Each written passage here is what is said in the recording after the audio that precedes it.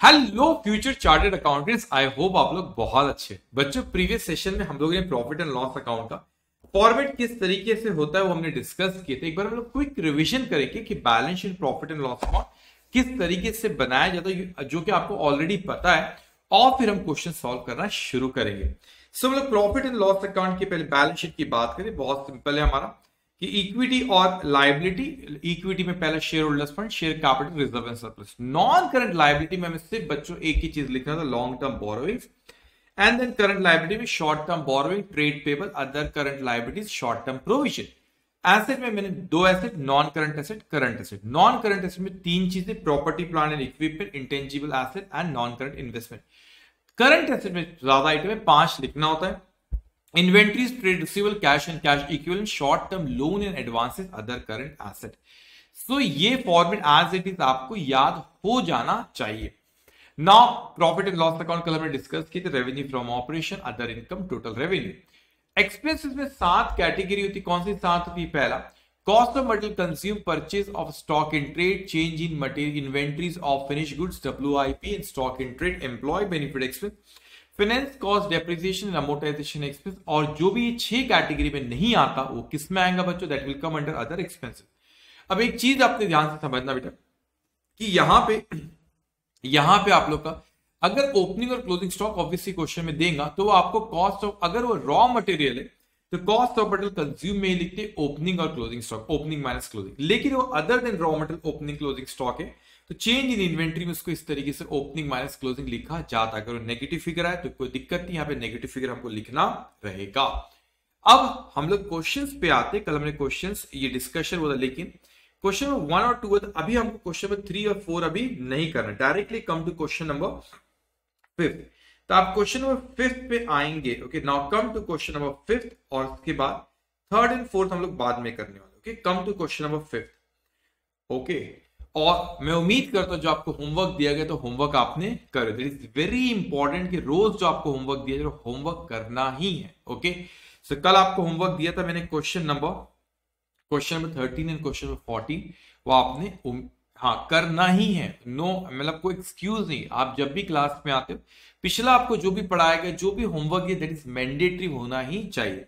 कोई अगर डाउट है तो you can ask me okay आप सबको टेलीग्राम का जो एक चैनल चैनल तो नहीं, कि वो टेलीग्राम का आपका मैसेज जिसमें डाउट के जो आपको पूछना है, वो आपको लिंक दिया गया और यहाँ पे जो व्हाट्सएप नंबर मेरा सबके पास है यहाँ पे ओके सो कोई भी डाउट होता है you can ask me now let's start here with question number fifth okay I know that three and four pending बाद में करने वाले। Now come to question number come to question number fifth now Om limited has authorise capital of rupees fifty lakh divided in five lakh equity shares of rupees सैनिश their books show the following ledger balance as on thirty first March twenty twenty one अब देखिए बेटे, थोड़ा सा यहाँ पे आपको जो यहाँ पे बैलेंसेस दिए लेजर के बैलेंसेस दिए हुए यहाँ पे। अब एंटिटी का नाम है ओम लिमिटेड और उनके पाँच लाख इक्विटीशियस ऑथोराइज है टेन रुपीज़ का ठीक है। अब ये बैलेंसेस दिए अब इतने मैच्योर हो गए, हम सी एंटर के स्टूडेंट है। अब यहाँ पे इसने डेबिट बैलेंस क्रेडिट बैलेंस इसे बना के ट्रायल बैलेंस टैली करके नहीं दिए। लेकिन आइटम को रीड करके हम समझ में आ जाएँगे इनकम है एक्सपेंस है एसेट है लाइबिलिटी ठीक है? और अगर कहीं पे हमको थोड़ा सा कंफ्यूजन हो सकता है कि इनकम एक एक्सपेंस है, क्योंकि वो हमको, क्योंकि डेबिट बैलेंस एक्सपेंस के होते हैं और इनकम के बच्चों क्रेडिट बैलेंस होते हैं। अगर ऐसा कोई कंफ्यूजन हो सकता है फॉर एग्ज़ाम्पल यहाँ पे रेंट हो गया। अब रेंट एक्सपेंस भी हो सकता है ना तो उसने बराबर यहाँ पे क्रेडिट ब्रैकेट में लिख दिया है ठीक है? अब प्रॉफिट एंड लॉस अकाउंट बता दिया प्रॉफिट है क्रेडिट बैलेंस तो जहाँ कंफ्यूजन हो तो सब बता दिया अदरवाइज़ तो क्लियर कट रहेगा। एसेट है एक्सपेंस है इनकम एसेट है कि एक्सपेंस है और इनकम है लाइबिलिटी के कैपिटल वो हमको वहाँ पे देख के इंटरप्रेट करना रहेगा। Now inventory first of April 2020 6 lakh 65 discount and rebates allow 30,000 carriage in with 57,500 purchases 12 lakh 32,500 Rate, taxes and insurance 55,000. Furniture and fixtures 1 lakh 50,000. Business expense 56,000. Wages 14 lakh 79,000. Freehold land uh, 7 lakh 30,000. Plant and machinery 7 lakh 50,000. Engineering tools 1 lakh 50,000. Trade receivable 4 lakh 500. Advertisement expenses 15,000. Commission brokerage expenses 67,500. Now bank current account debit balance 20,000. Cash in hand 11,000 calls in arrears at the rate of rupees 2 per share 10,000 Equity share capital 22 lakh shares of rupees 10 is 20 lakh. Trade payable 2 lakh 40,500. Sales 36,000 36 lakh 17,000. Rent credit 30,000. Transfer fees received 6,500. Profit and loss account credit balance that is 67,000. Repairs to building 56,500. Bad debt 25,500. अब मैं adjustment पढ़ता हूँ लेकिन मैंने आपसे कहा था, पहले हमें ये पता रहना चाहिए, पूछा क्या तो क्वेश्चन उससे पूछा you are required to prepare statement of profit and loss profit and loss account बनाना है। For the year ending 31st March 2021 and balance sheet as on that date उसी तारीख हमको क्या बनाना है, बच्चों? बैलेंस शीट भी बनाना है। तो हमें प्रॉफिट एंड लॉस अकाउंट तो बनाना ही बनाना है, साथ में बैलेंस शीट भी बनाना है ओके तो आप ट्रायल बैलेंस में आइटम देखोगे, यहाँ पे जो ट्रायल बैलेंस बनी, उसमें बेटा यहाँ पे हम लोगों को एक्सपेंस और इनकम भी नज़र आएँगे। रीजन इज़ दैट है, क्योंकि हमको प्रॉफिट एंड लॉस अकाउंट भी बनाना है। क्योंकि कल जो हमने दो क्वेश्चन किए थे बैलेंस शीट पे, उसमें हमें प्रॉफिट एंड लॉस इनकम और एक्सपेंस नहीं दिए थे। क्यों नहीं दिए थे? क्योंकि ऑलरेडी बैलेंस शीट बनाना था हमें। पीएनएल अकाउंट बनाना नहीं था। तो प्रॉफिट एंड लॉस अकाउंट का जो प्रॉफिट होता है, वो ऑलरेडी क्वेश्चन में दे रखा था। अब बोलेंगे सर ये भी तो प्रॉफिट दिया यहाँ पे 67 अरे अक्यूमुलेटेड लास्ट ईयर तक के का प्रॉफिट है इस साल का प्रॉफिट वो नहीं इस साल का प्रॉफिट हम निकालेंगे प्रॉफिट एंड लॉस अकाउंट बना के क्योंकि स्पेसिफिकली क्वेश्चन उसने कहा है अब आगे हमसे कहते हैं The inventory value at cost or market value which is lower as on 31st of March 2021 was rupees 7 lakh 5000. Outstanding liabilities for wages 25,000 and business expense rupees 36,700. It was decided to transfer rupees 10,000 to reserve. Now charge depreciation on written down value of plant machine. अब यहाँ पे adjustment के बारे में देखिए तो पहला para जैसे इन्वेंट्री पे बोला। That is related to change in inventory वो तो। अब यहाँ पे इस पे है। देन ये आउटस्टैंडिंग लाइबिलिटीज उसने कहा वेजेस पे। तो मैं वेजेस के स्टार मार्क कर लू। Then business expenses business expenses कहा है बच्चों? बिज़नेस एक्सपेंसेस ढूंढना पड़ेगा। बिज़नेस एक्सपेंस कहीं ना कहीं होगा। ये रहा बिज़नेस एक्सपेंस पे एडजस्टमेंट है। देन वो कहता है कि हमको it was decided to transfer rupees ten thousand to reserve तो यहाँ पे देखो कि रिज़र्व है पहले से हमारा। इस साल का जो भी प्रॉफिट है, उसमें से टेन थाउज़ेंड हमें रिज़र्व में ट्रांसफ़र करना रहेगा। ओके अब यहाँ पे रिज़र्व मुझे दिख नहीं रहा। हो सकता है कहीं हो भी। अगर रिज़र्व यहाँ पे रहा आपका तो रिज़र्व में ऐड कर देंगे। रिज़र्व अगर नहीं रहा बच्चों तो कोई दिक्कत की बात नहीं। टेन थाउज़ेंड उसने कहा, वहाँ पर ट्रांसफ़र करो। तो रिज़र्व हम जनरल रिज़र्व लिख के उसमें लिख दें charge depreciation on written down वाले पे बोला। ओरिजिनल कॉस्ट पे नहीं बोला, ध्यान से डब्ल्यू पे बोला।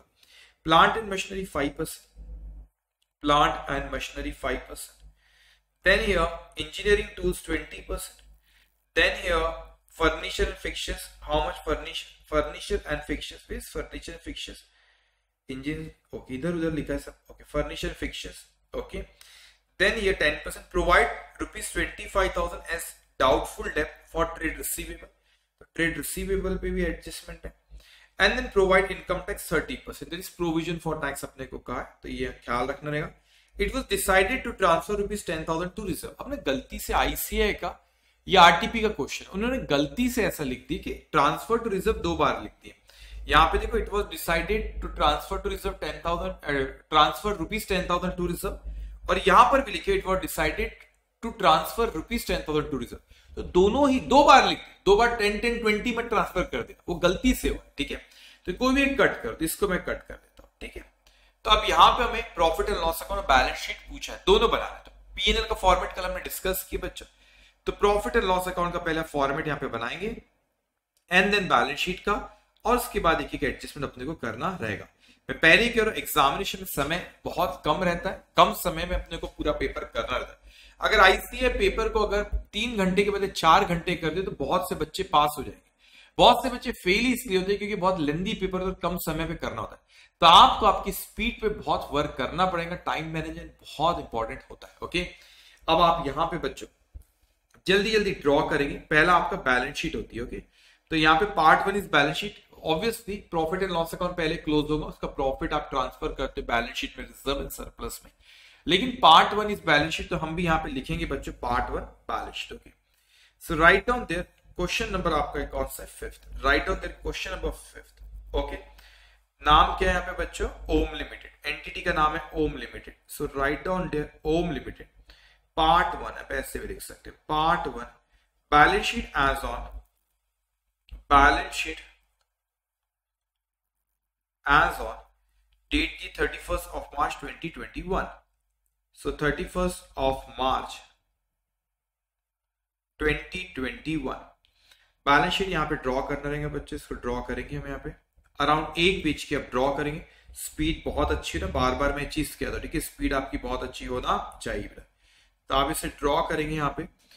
बैलेंस शीट आपकी एक पेज की से ड्रॉ कर लो आप लोग okay now write down there one by one एक एक करके आप लिखते जाएँगे अब यहाँ पे। Note amount note amount okay now equity and liability equity and liabilities okay equity and liabilities shareholders fund shareholders fund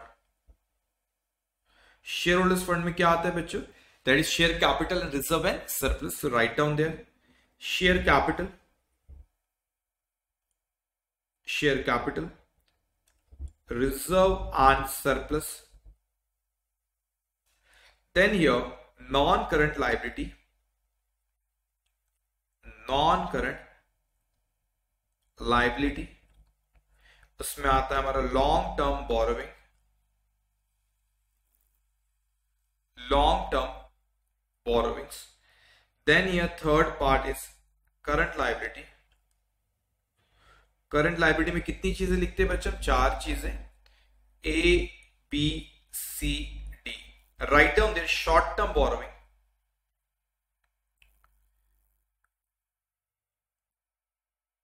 short term borrowings trade payable okay then other current liability other current liabilities Okay. Short term provision, short term provisions. Okay. Total ये आपकी liability side. Then here asset side okay now asset side second asset asset side में आप लिखेंगे यहाँ पे that is non current asset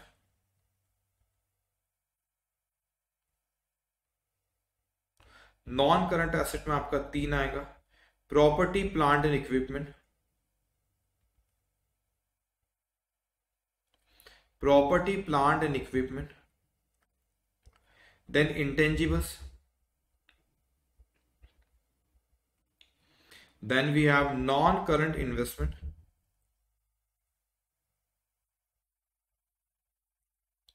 okay non current investment now second current asset उसमें पाँच चीज़ें लिखते A B C D E that is inventories trade receivable cash and cash equivalent cash and cash equivalent then ये short term short term loan and advances, and then other current asset. Other current asset so यहाँ पे आपकी asset side की total okay now we have to decide कि किसके notes to account बच्चों हमको बनाना है। तो नोट्स टू अकाउंट की अगर हम बात करें बेटा एक शेयर कैपिटल पे बनाएँगे reserve and surplus long term borrowing पे इस क्वेश्चन में आप कभी कभी ऐसा होता है कि आप मतलब लिख दो लेकिन बाद में आपको रियलाइज़ हो, जैसे पूरा क्वेश्चन मैंने रीड किया तो कहीं पर भी ना डिपेंचर के बारे में नहीं किया। कभी लॉन्ग टर्म बोरोइंग हमने जो कल जो क्वेश्चन सॉल्व किए थे बच्चों loan from public finance corporation से दिया था तो कहीं पर भी कोई भी लॉन्ग टर्म लाइबिलिटी क्वेश्चन में है नहीं तो आप इसको नहीं लिखोगे। अब कभी हो सकता है आपने नंबर दे दिए मतलब आई मीन नोट्स अकाउंट का नंबर यहाँ पे रेफरेंस दे दिए, और जब आप सॉल्व करते देन यू रियलाइज़ करे नोट्स अकाउंट हमने रेफरेंस दे दिए थे, और जब आप सॉल्व करते, आपने रियलाइज़ करे यहाँ पे कि नहीं नहीं नहीं इसके ऊपर तो हमें बनाने की ज़रूरत नहीं थी कोई बात नहीं ब्लैंक रहते ना उसको। अब यहाँ पे शॉर्ट टर्म बोरोइंग भी क्वेश्चन भी नहीं है, और आपने अदर करंट लाइबिलिटी पे बना लेंगे। Three short term provision provision for tax है। फोर्थ देन पीपी पे हम हमेशा बनाते ही फिफ्थ दे दो। इन्वेंट्रीज पे भी ख्याल रखना इन्वेंट्रीज पे कब आता है? जब आपकी inventory raw material finish good ऐसा भी है। अब यहाँ पे नॉर्मल इन्वेंट्री दिए तो कोई नोट्स तो कौन बनाने की ज़रूरत नहीं, जब एक से ज़्यादा रहता है, जब हमको बनाना अभी एक ही तरह की इन्वेंट्री है तो ज़रूरत नहीं है। Not trade receivable more than six month less than six month नहीं ऐसा वाला adjustment cash and cash equal बना लेना, क्योंकि cash in and cash at bank उसको दिया है ओके एक सेकेंड लेकिन यहाँ पे ना प्रोविज़न फॉर डाउटफुल डेप दिया यस तो उसके ऊपर हम बना लेंगे। तो एक काम करो ट्रेड रिसीव सिक्स और cash and cash equal to seven उसके बाद लगा तो मुझे अदर करंट एसेट भी कुछ है अब देखो यहाँ पे कैसे डिसाइड किया है और ज़रूरी नहीं है कि मैंने अगर सात बोला तो आप भी सेवन ही बोला, आप आठ बोल सकते, नौ बोल सकते, कोई दिक्कत नहीं है। मैंने कैसे जज किया यहाँ पे सेवन नोट्स अकाउंट पहले कौन कौन से नहीं बनाए जो कल बनाए थे? तो एक मैंने long term borrowing short term borrowing पे नहीं बनाया क्योंकि उस पर एडजस्टमेंट नहीं है। यहाँ पे इन्वेंट्री पे मैंने नहीं बनाया क्योंकि इन्वेंट्री पे एडजस्टमेंट मतलब रॉ मटेरियल तरीके से नहीं दिया उसने। रॉ मटेरियल यहाँ पर नहीं दिया उसने। और हम लोगों को यहाँ पे फिनिश गुड ऐसा नहीं दिया बाय फॉरगेट तो उसमें ज़रूरत नहीं है बच्चे। अब यहाँ पे हमने नोट्स अकाउंट इसलिए हमारे यहाँ पे कम बने। अब उसके बाद प्रॉफिट एंड लॉस अकाउंट का कल हमने फॉर्मेट डिस्कस किए थे, सारी चीज़ें डिस्कस किए थे। Write on here part two part two statement of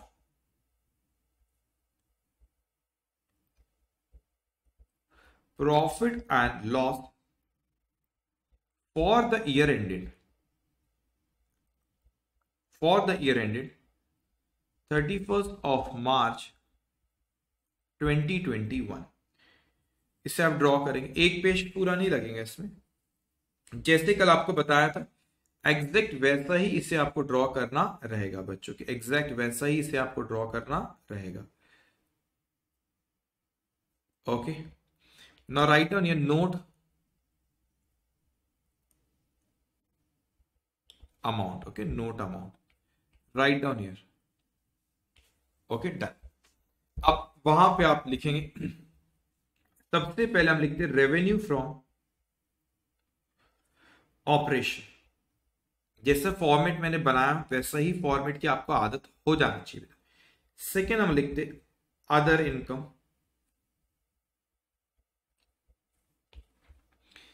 Then here, total revenue.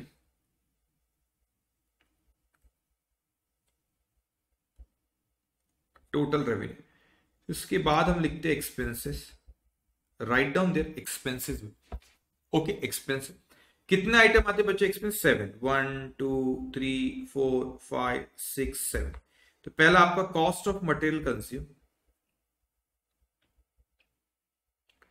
cost of material consume then your purchase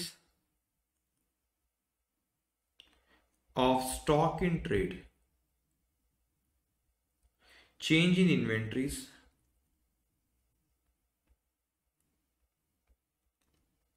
okay यहाँ पे अगर रॉ मटेरियल रहा तो कहाँ आएगा ओपनिंग क्लोजिंग स्टॉक यहाँ पे cost of material consume then employee benefit expense क्या सर ये फॉर्मेट को बदल सकते नहीं. ऐसा के ऐसा ही आपको लिख के आना है. Employee benefit expensive finance cost then depreciation and amortisation amortization expenses. Other expenses. Okay other expenses तो यहाँ पे बच्चों आपको आएगा टोटल एक्सपेंसेस आपको। Okay total expenses then income minus expense that will be profit so यहाँ पर आप लिखेंगे fourth fifth point the profit before tax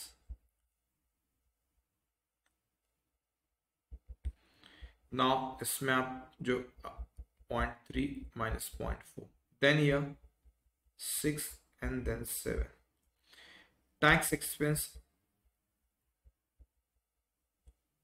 Okay question में से दिया तो मैं लिख लेता at the rate thirty percent का है question okay profit after tax profit after tax done अब इसमें नोट्स अकाउंट किसके हमको बनाना चाहिए? अब देखो यहाँ पे रेवेन्यू फ्रॉम ऑपरेशन अगर आप देखो, कैसे डिसाइड कर रहे हैं बेटा?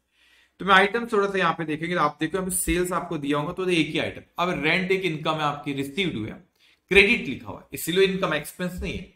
ना ट्रांसफ़र फ़ीस रिसीव्ड तो ये आपकी अदर इनकम है सब। तो यहाँ पे काम कर, एक से ज़्यादा है तो अदर इनकम पे नोट अकाउंट हमने यहाँ पे कितने बनाए थे? सेवन तो यहाँ पे आपका अदर इनकम में आप कितना लिखेंगे? अदर इनकम में लिखेंगे आप एट फिर एडजस्टमेंट में अगर हम लोग यहाँ पे बात करें बेटा तो एडजस्टमेंट में आपको देखो, यहाँ पे उसने कहा है कि वेजेस पे करने के लिए कहा। तो वेजेस पे एक है बिज़नेस एक्सपेंस अब वेजेस तो एम्प्लॉय बेनिफिट एक्सपेंस में आता है तो नाइन लिखो, और बिज़नेस एक्सपेंस वो अदर एक्सपेंस जिसकी कोई हेडिंग नहीं होती that will going to come under other expenses तो आप बिज़नेस एक्सपेंस का लिखोगे बच्चों? अदर एक्सपेंसेस में आपको लिखना रहेगा। इतना अब दस नोट्स अकाउंट अपने को बनाना रहेगा, ओके? अब आप खुद सोचो स्पीड कितनी खतरनाक होना चाहिए, जब कहीं जाके पेपर समय पे खत्म होगा। अभी मैं आपके लिए थोड़ा, मैं तो स्लो ही लिख रहा हूँ, ओके नो राइट डाउन ये notes account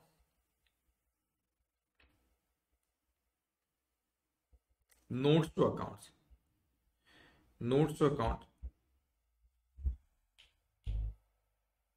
okay, now write down here first is share capital. आप स्पेस रखना थोड़ा सा उसमें। सात आठ, क्योंकि ऑथोराइज कैपिटल भी दिया तो सात आठ लाइन का स्पेस रखो। Then write down notes account number two notes account number two reserve and surplus reserve and surplus then यहाँ पे पाँच छह लाइन का स्पेस रखें। Then notes account number three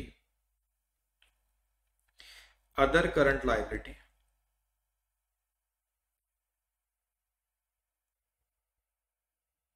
other current liabilities है उसके बाद में तीन से चार पाँच लाइन का space then notes to account number fourth short term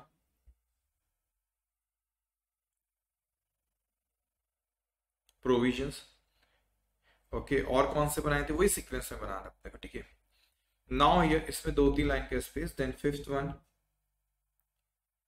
is property, plant and equipment. Property, plant and equipment इसमें आप स्पेस देना सात आठ लाइन का। देन या notes to account number six trade receivable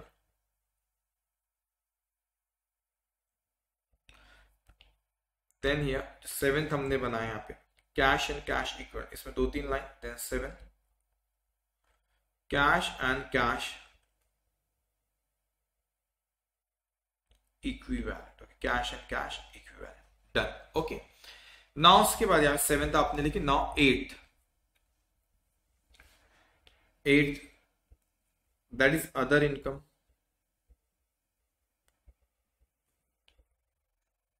other income इसमें तीन चार लाइन और कौन सा? Employee benefit expenses ninth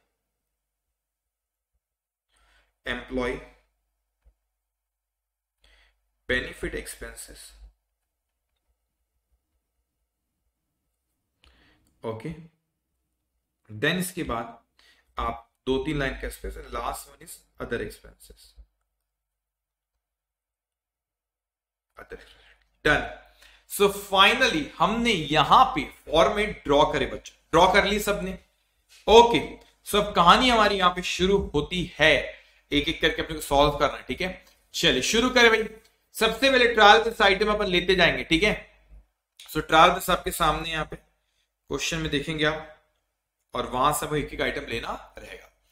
सो so, सबसे पहले यहाँ पे बच्चे यहाँ पे इन्वेंट्री कौन सा स्टॉक है? ओपनिंग स्टॉक तो कहा जाएगा? Profit and loss account six lakh sixty five thousand it's like opening stock जो आपका आदत है ट्रेडिंग अकाउंट के डेबिट साइड में लिखने ऐसा नहीं लिखना है अच्छा ये रॉ मटेरियल ओपनिंग स्टॉक नहीं है। तो क्या ये रॉ मटेरियल कंज्यूम में जाएगा कि बच्चों, यहाँ पे कॉस्ट ऑफ़ मटेरियल कंज्यूम में जाएगा? नहीं। इस क्वेश्चन में तो आने ही नहीं वाला कॉस्ट ऑफ़ मटेरियल कंज्यूम आप बोलिए, क्यों क्यों क्यों नहीं आएगा? अरे रॉ मटेरियल ले ही नहीं रहा तो है ही नहीं उसका ओपनिंग स्टॉक नहीं है क्लोजिंग नहीं है परचेज नहीं रॉ मटेरियल के बारे में बात ही नहीं हुई। तो नॉर्मल स्टॉक है finish good stock in trade वाला। तो उसने यहाँ पे परचेज किया कितना? ओपनिंग स्टॉक है सिक्स लाख सिक्सटी फाइव तो चेंज इन इन्वेंट्री में इनर कॉलम में लिखो six lakh sixty five thousand आप बोले सर इनर में क्यों? अरे चेंज इन इन्वेंट्री पापा ओपनिंग माइनस क्लोजिंग तो ओपनिंग लिखिए अभी अपने को क्लोजिंग फिर उसमें से माइनस करना रहेगा। देन इट से डिस्काउंट एंड रिबेट अलाउ अब आप बताओ discount and rebate allow expense है एक्सपेंस है। सोचो, सोचना पड़ेगा। तो डिस्काउंट एंड रिबेट अलाउ ये तो एक्सपेंस है एक्सपेंस है। लेकिन क्या उस लिस्ट में हम लोग के एक्सपेंस चाहिए लेकिन क्या हमें जो सात है टोटल एक तो अदर एक्सपेंस है। तो उसके अलावा जो छह एक्सपेंस में कोई हेडिंग है डिस्काउंट एंड रिबेट की? नहीं। तो जिसका कोई नहीं, उसका अदर एक्सपेंस होता है तो थर्टी थाउज़ेंड आप लिखेंगे अदर एक्सपेंस में। तो अदर एक्सपेंस का आपका नोट्स तो अकाउंट नंबर टेन पे जाकर आप लिखेंगे बच्चों, वहाँ पे क्या है आपका, यहाँ पे that is discount and rebate that is thirty thousand write down discount and rebates how much it is that is thirty thousand how much it is thirty thousand okay ना उसके बाद हमसे यहाँ पे कहते हैं कैरेज इनवर्ट ये भी कहेंगे आपका other expense that is fifty seven thousand five hundred तो यहाँ पे आप लिखेंगे कैरेज अच्छा आप कहें sir carriage inward other expenses में क्यों लिखे? आप ये देखना बेटे, क्या सेपरेट हेडिंग है क्या? मैंने कहा सेपरेट हेडिंग अगर नहीं है तो प्रॉफिट एंड लॉस में क्या सेपरेट हेडिंग है क्या हमारी? उसकी answer is no carriage inward कोई है ऐसा नहीं. तो अगर किसकी कोई सेपरेट हेडिंग है there is going to come under other expenses तो यहाँ पे लिखेंगे आप कैरेज इनवर्ट पहले अपने को फाउंडेशन में याद करते इनवर्ड बोलते ट्रेडिंग आउटवर्ड बोलते पीन ऐसा करना पड़ता था आपको। क्या करेंगे आप? सही भी था। जब अभी नहीं करना होता। परचेज अभी रॉ मटेरियल परचेज नहीं बेटा। रॉ मटेरियल परचेज नहीं तो कहता तो मतलब वो रॉ मटेरियल का opening closing stock raw material है ही नहीं क्वेश्चन मैन्युफैक्चरिंग कंपनी नहीं होंगी। तो अभी यहाँ पे परचेज का twelve lakh thirty two thousand five तो पीएनएल में आप लिख देंगे यहाँ पे। Twelve lakh purchases 12 lakh 32,500. So 12 lakh 32,500. Okay, 12 lakh 32,500. उसके बाद कहते हैं रेंट रेट्स एंड टैक्सेस इसकी क्या कोई अलग से हेडिंग है नहीं तो कहाँ पे आएँगे आपका other expenses 55,000. So other expense notes to account number 10. क्या लिखा है भाई rate taxes and insurance rate taxes and insurance that is how much fifty five thousand ये कितना है बच्चों? फिफ्टी फाइव थाउज़ेंड देन इसके बाद फर्नीचर एंड फिटिंग ये कहा जाएगा? Property plan and equipment PP में. तो हमने पीपी का बच्चों के नोट्स टू अकाउंट बनाया यस अब वहाँ पे अपने को लिखना रहेगा. नोट्स टू अकाउंट में आप जाएँगे पीपी के. नोट्स टू अकाउंट नंबर है उसका?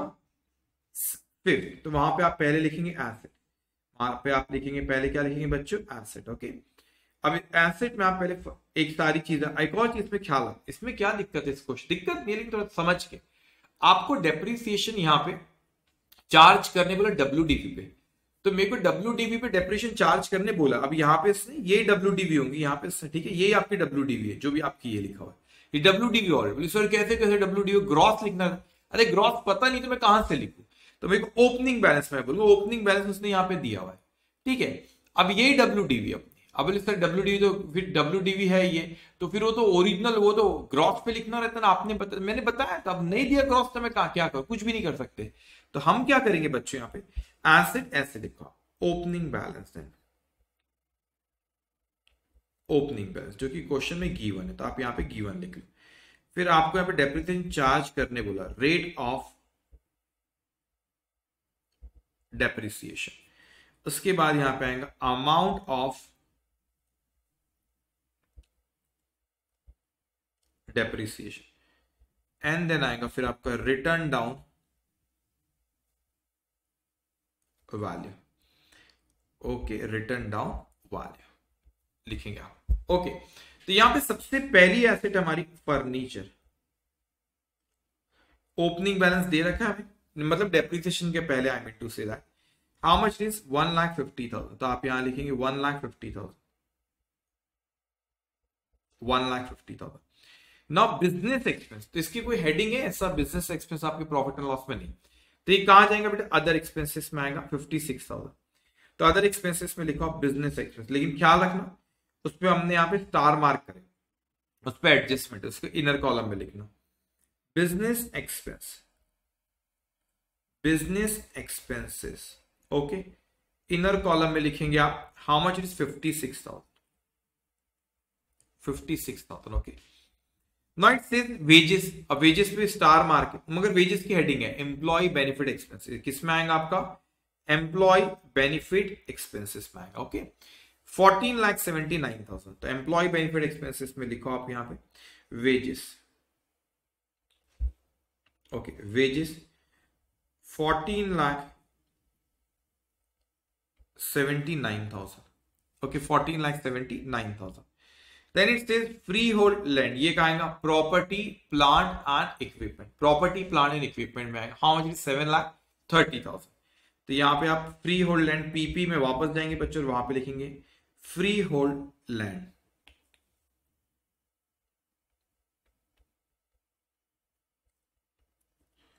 that is how much? 7 lakh 30,000 okay. Now plant and machinery. Pp 7 lakh 50,000 so plant and machinery write down their plant and machinery. That is how much? 7 lakh 50,000 so write down this 7 lakh 50,000 then we have engineering tools. Ye bhi aapki pp hai. That is 1 lakh 50,000 engineering tools. Okay. Engineering tools. It's 1 lakh 50 1 lakh 50,000 then we have trade receivable बेटा। ये आपका trade receivable में जाएगा। Notes to account इसका बनाया आपने? Four lakh five hundred notes to account number six right on trade receivable trade receivable four lakh five hundred then we have here advertisement expense इसकी कोई अलग से हेडिंग नहीं है। तो ये कहा जाएगा बच्चों? अदर एक्सपेंसेस में। फिफ्टीन थाउज़ेंड तो फिफ्टीन थाउज़ेंड अदर एक्सपेंसेस में आप लिख देंगे वहाँ पे एडवर्टीजमेंट एडवर्टीजमेंट हियर क्वेश्चन में दे रखा है that is fifteen thousand so right on fifteen thousand okay then commission and brokerage expenses here So commission brokerage expenses that is 67,500. So commission, commission and brokerage expenses that is 67,500. 67,500. Okay. Then यहाँ पे then बेटे सारे हमने लिखे यहाँ पे item अभी आपका अदर एक्सपेंस जिसकी कोई एडिंग नहीं थी अदर एक्सपेंस में जाता है अब बैंक करंट अकाउंट कोई करंट अकाउंट होगा बैंक पे उसने आपने ओपन करे डेबिट बैलेंस क्वेश्चन में ओवरड्राफ्ट नहीं है ट्वेंटी थाउज़ेंड ये कहा जाएगा बेटे? Cash and cash equivalent cash in hand भी जाएगा cash and cash equivalent okay right down here आप cash and cash equivalent notes account number seven में जाएँगे. Right down there bank balance in current account bank balance in current account ठीक है? और इस chapter के बच्चों आखिरी में हम एमसीक्यू सबसे आखिरी में करते ठीक है? तो जब चैप्टर कंप्लीट होगा, आखिरी दिन हम एमसीक्यू करेंगे और पूरे चैप्टर को फिर से रिवाइज भी करते twenty thousand then we have here cash in hand eleven thousand so cash in hand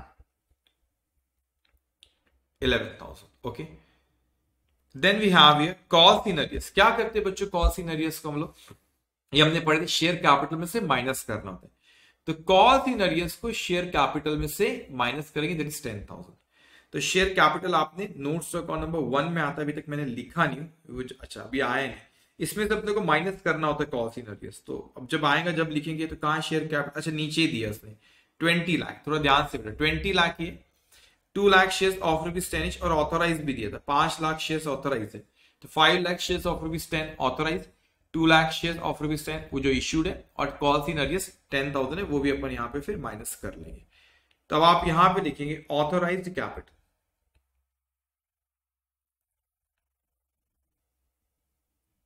authorized capital okay so, here 5 lakh equity share of rupees ten each. कितना अमाउंट है? That is fifty lakh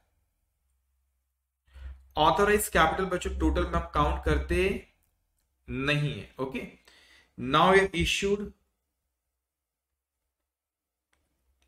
subscribe and paid up okay तो ये आपने कितने shares issue है? Issued subscribe and paid up that is two lakh shares question में दे रखा उसने। So here two lakh shares right it down two lakh equity share equity shares of rupees 10 each how much it is? 20 lakhs okay बच्चों? अब बेटे, यहाँ पे आप देखो। अरे देखो कॉल सीनरीज को क्या करा जाता है? माइनस करते टेन थाउज़ेंड जो ऊपर लिखा, उससे माइनस करेंगे। Less cost in arrears ten thousand okay then we have trade payable दिए ट्रेड पेबल ट्रेड पेबल में चले जाएगा. Two lakh forty thousand five hundred तो बैलेंस शीट में लिखेंगे आप trade payable two lakh forty thousand five hundred then we have sales ये कहा जाएगा? Revenue from operation thirty six lakh seventeen thousand down ये revenue from operation thirty six lakh seventeen thousand okay then we have rent अभी rent के expense मानेंगे क्या? क्या rent expense मान लो इसको? सर इसकी हेडिंग नहीं होती रेंट के अदर एक्सपेंस पर लिख देते अरे, सोच समझ के। उसने क्रेडिट का है क्रेडिट का मतलब क्या? किसके बैलेंस होते? क्रेडिट बैलेंस इनकम के। तो थर्टी थाउज़ेंड आप कहा लिखोगे? इनकम में लिखेंगे। तो अदर इनकम तो अदर इनकम का आपने नोट्स अकाउंट बनाया यहाँ पे। Yes, notes account number 8. Write down there, write down there rent.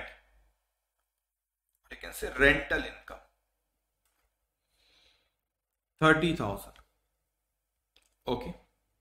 Then we have here transfer fees received. ये क्या है बच्चों? Income.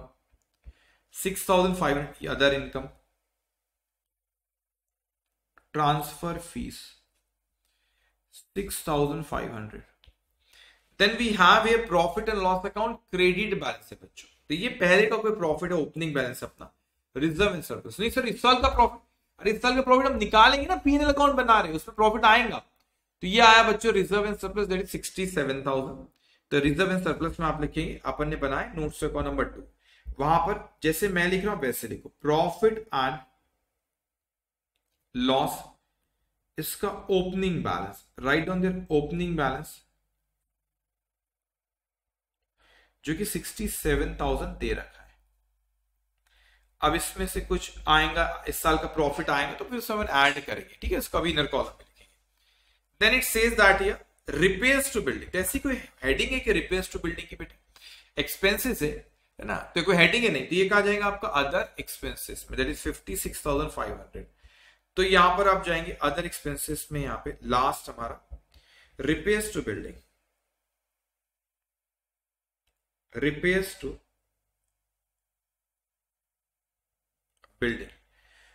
six thousand five hundred okay then they have your bad debt twenty five thousand five hundred जिसकी कोई heading है नहीं तो ये आपका आएगा अदर एक्सपेंसेस में bad dept that is twenty five thousand five hundred तो हमने ट्रायल बैलेंस के बच्चों सारे के सारे आइटम लिख लिए. अब ध्यान से आपने मेरी बात समझना बेटे. यहाँ पे जब मैंने आपको बताया था जो एडिशनल इंफॉर्मेशन वो देता है तो एडिशनल इंफॉर्मेशन दो तरह की हो सकती एक एडिशनल इंफॉर्मेशन होती जो कि डिस्क्लोजर के पॉइंट ऑफ़ व्यू से कहता है। किसके पॉइंट ऑफ़ व्यू से कहता है बेटा? डिस्क्लोजर के पॉइंट ऑफ़ व्यू से। और एक ऐसा होता है आपका जो एडजस्टमेंट के पॉइंट ऑफ़ व्यू से होता है। तो डिस्क्लोजर में कोई एडजस्टमेंट नहीं रहता बस अपने को डिस्क्लोज करना होता है। लेकिन एडजस्टमेंट के पॉइंट ऑफ़ व्यू से अगर बच्चे उसने क्वेश्चन में पूछा तो आपको डेबिट क्रेडिट उसके इफ़ेक्ट दो इफ़ेक्ट अपने को देना रहेगा। कौन से दो इफ़ेक्ट देना रैपिड जिसमें ऑलरेडी आपको पेज नंबर 108 में यहाँ पे दे रखा उसने यहाँ पे? 108 में यहाँ पे दे रखा है तो डेबिट दो इफ़ेक्ट क्या फ़र्स्ट इफ़ेक्ट सेकेंड इफ़ेक्ट दे रखा है। लेकिन मैं तो भी आपको जर्नल एंट्री भी साथ साथ में बोलूँगा तो अपने रेफरेंस के लिए आप जर्नल एंट्री यहाँ पे कहीं लिख सकते हो ओके अब ध्यान से आपने समझना, हमने ट्रायल के सारे आइटम हम लोग लिख चुके अब एडजस्टमेंट में आते बच्चों। और वो हमसे यहाँ पे कहता है that inventory value at cost और market value whichever is lower ये हम एस टू में भी पढ़ेंगे कॉस्ट और कॉस्ट और NRV whichever is lower due to conservatism approach वो एस टू में पढ़ेंगे यहाँ पर। लेकिन यहाँ पे वो कहते हैं कि इन्वेंट्री का वैल्यूशन क्लोजिंग स्टॉक का thirty first March twenty twenty one को हमको वैल्यू करना है कितने में? सेवन लाख फाइव थाउज़ेंड अब एंट्रीज में इंटेंशनल यहाँ लिखूँगा और आपने भी अपने रेफरेंस के लिए लिखना। इसके दो इफ़ेक्ट क्या होते हैं बच्चा? दो, पहले तो इसकी एंट्रीज की जब हम पास करते तो इसकी एंट्री पास होती है यहाँ पे।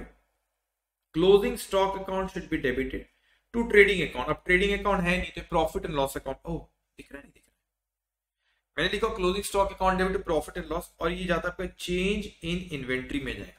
That is seven lakh five thousand कहा लिखेंगे बच्चों seven lakh five thousand change in inventory में आप लिखेंगे, ठीक है? अब ध्यान से समझना बच्चों चेंज इन इन्वेंट्री में आपको जाएँगे सेवन लाख फाइव दो इफ़ेक्ट है। ये डिस्क्लोजर वाली नहीं है, ये एडजस्टमेंट वाली। तो दो इफ़ेक्ट क्या होंगे आपके? ये आपकी जो यहाँ पे क्लोजिंग स्टॉक को जो मैंने डेबिट किया, वो बच्चों किसमें जाएगा आपका? वो आप जाएगा आपका एसेट वो एसेट है आपका। तो बैलेंस शीट में एसेट साइड में क्लोजिंग स्टॉक अपियर होगा आपका। जो अमाउंट आपको दे रखा है सेवन लाख फाइव थाउज़ेंड और प्रॉफिट एंड लॉस अकाउंट में चेंज इन इन्वेंट्री में अपने को वहाँ पे इसको माइनस करना होता है, ठीक है? अब इसको रेपिड जिसमें भी सारी चीज़ें लिखी हुई तो मैं यहाँ से आपको एक्सप्लेन करते जाता हूँ। ये एडजस्टमेंट वाले सारे पॉइंट डिस्क्लोजर वाले नहीं। तो ये क्वेश्चन खत्म हुआ तो रैपिड जिससे मैं आपको रिवाइज भी करा के दूँगा। ओके तो क्या एंट्री पास कर हमने क्लोजिंग स्टॉक की? Closing stock account debit to profit and loss account तो क्लोजिंग स्टॉक एक इफ़ेक्ट का आ जाएगा हमारा, ये हमारा एसेट साइड में दूसरा effect profit and loss account में चेंज इन इन्वेंट्री में। तो मैं इन्वेंट्री में जाके लिखूँगा बैलेंस शीट में, जो क्लोजिंग स्टॉक आपका asset side that is how much seven lakh five thousand right down this seven lakh five thousand seven lakh five ये एक इफ़ेक्ट देखो एक दो इफ़ेक्ट देना है, ठीक है? तो ट्रायल बेस आपको पता है इंटर लेवल के स्टूडेंट हो, लेकिन तो भी कह रहा हूँ ट्रायल बेस के आइटम को एक ही जगह लिखते हैं। क्यों? क्योंकि उसके ऑलरेडी अकाउंटिंग साइकिल हो क्या है? तो उसकी ऑलरेडी वो रिकॉर्डिंग पोस्टिंग बैलेंसिंग ये सब हो चुका है उसका। लेकिन जो एडजस्टमेंट एडिशनल इन्फॉर्मेशन में जो एडजस्टमेंट वाले होते हैं डिस्क्लोजर वाले नहीं एडजस्टमेंट वाले जो पॉइंट होते हैं, बेटे, उसकी एंट्री पहले पास हुई नहीं है तो हमें एंट्री पास करना है। तो we follow double entry system इसीलिए जो भी एडजस्टमेंट एडिशनल इंफॉर्मेशन में रहते उसके दो इफ़ेक्ट बच्चों दिए जाते कितने इफ़ेक्ट दिए जाते बेटा? दो इफ़ेक्ट उसके हमको दिए जाते ठीक है? अब देखो, यहाँ पे हमसे क्या कह रहा दैट ट्रेड रिसीवेबल की अगर अपन सॉरी अपना इन्वेंट्री की बात तो एक इफ़ेक्ट हमने यहाँ पे सेवन लाख फाइव थाउज़ेंड दूसरा इफ़ेक्ट चेंज इन इन्वेंट्री भी दे गया तो यहाँ पर आप minus seven lakh five thousand आप यहाँ पे कर देंगे। तो six lakh sixty five thousand minus seven lakh five thousand negative figure आ रही फोर्टी तो आउटर कॉलम का फोर्टी थाउज़ेंड उसको नेगेटिव फिगर यहाँ पे उसे लिख देंगे बच्चा। ओके तो नेगेटिव फिगर आप इसको यहाँ पे लिख देंगे that is forty thousand done इतना आपने लिखे उसके बाद वो हमसे यहाँ पे कहता है ना उसके बाद आउटस्टैंडिंग लाइबिलिटीज फॉर वेजेस ठीक है? तो इसकी एंट्रीज आपको आना चाहिए अब इसकी एंट्री कैसे पास करते हैं? बेसिक्स ऑफ़ अकाउंटिंग से जाते हैं। What do mean by outstanding liability for wages मतलब कोई वेजेस है ट्वेंटी फाइव थाउज़ेंड रुपीज़ को हमने अभी तक पे नहीं कर तो क्या इसको लिखेंगे? क्यों नहीं लिखेंगे? We follow accrual system of accounting कौन सा सिस्टम ऑफ़ अकाउंटिंग है बच्चों हमारा? Accrual system of accounting so we follow accrual system of accounting तो ये जो ट्वेंटी फाइव थाउज़ेंड है, जो हमने नहीं, हमको सर्विसेज़ मिल गई। वो वर्कर ने काम कर चुका है, लेकिन हमने पे नहीं कर तो एक्सपेंस तो हम मानेंगे से तो इसकी एंट्री एक्चुअल में पास होती wages account debit wages account should be debited. To outstanding wages account. अब आप खुद सोचो एक्सपेंस तो मैंने डेबिट कर दिया बेटे तो वेजेस अकाउंट को मैंने यहाँ पे डेबिट कर दिया। अगर ये यहाँ पे पे कर दिया होता तो टू मैं कैश और बैंक अकाउंट करता। लेकिन मैंने क्या पे करो तो आंसर तो हमने भी पे करे नहीं है बच्चे। तो इसीलिए हमने यहाँ पे wages account debit to outstanding wages account और आउटस्टैंडिंग वेजेस हमारा किसका पार्ट होगा? वेजेस हमारा पार्ट होगा एम्प्लॉय बेनिफिट एक्सपेंसेस का। और आउटस्टैंडिंग वेजेस हमारा पार्ट होगा अदर करंट लाइबिलिटी का। ओके तो ये आपको समझना रहेगा। तो वेजेस किसका पार्ट है? रिलेटेड टू वर्कर तो वो एम्प्लॉय बेनिफिट एक्सपेंस में जाएगा। और आउटस्टैंडिंग वेजेस क्या जाएगा? अदर करंट लाइबिलिटी में जाएगा। अगर हम पे कर दिए रहते तो कैश और बैंक अकाउंट हम क्या करते थे? क्रेडिट करते थे। हमने पे करे नहीं है। Outstanding we are liable to pay increasing liability इसीलिए उसको हमने क्रेडिट कर outstanding wages because we are liable to pay that increase in liability कितना अमाउंट है बच्चों? That is twenty five thousand तो यहाँ पर अब आप लिखेंगे आउटस्टैंडिंग वेजेस एक एक करके। तो वेजेस आपका, आपने कहेंगे सर वेजेस तो ऑलरेडी हमको यहाँ पे नोट्स अकाउंट नंबर नाइन में fourteen lakh seventy nine thousand wages दिए लेकिन ये बच्चे आपने पे करे होंगे, इसकी अकाउंटिंग करे ट्रायल बैलेंस में दिख भी रहा है।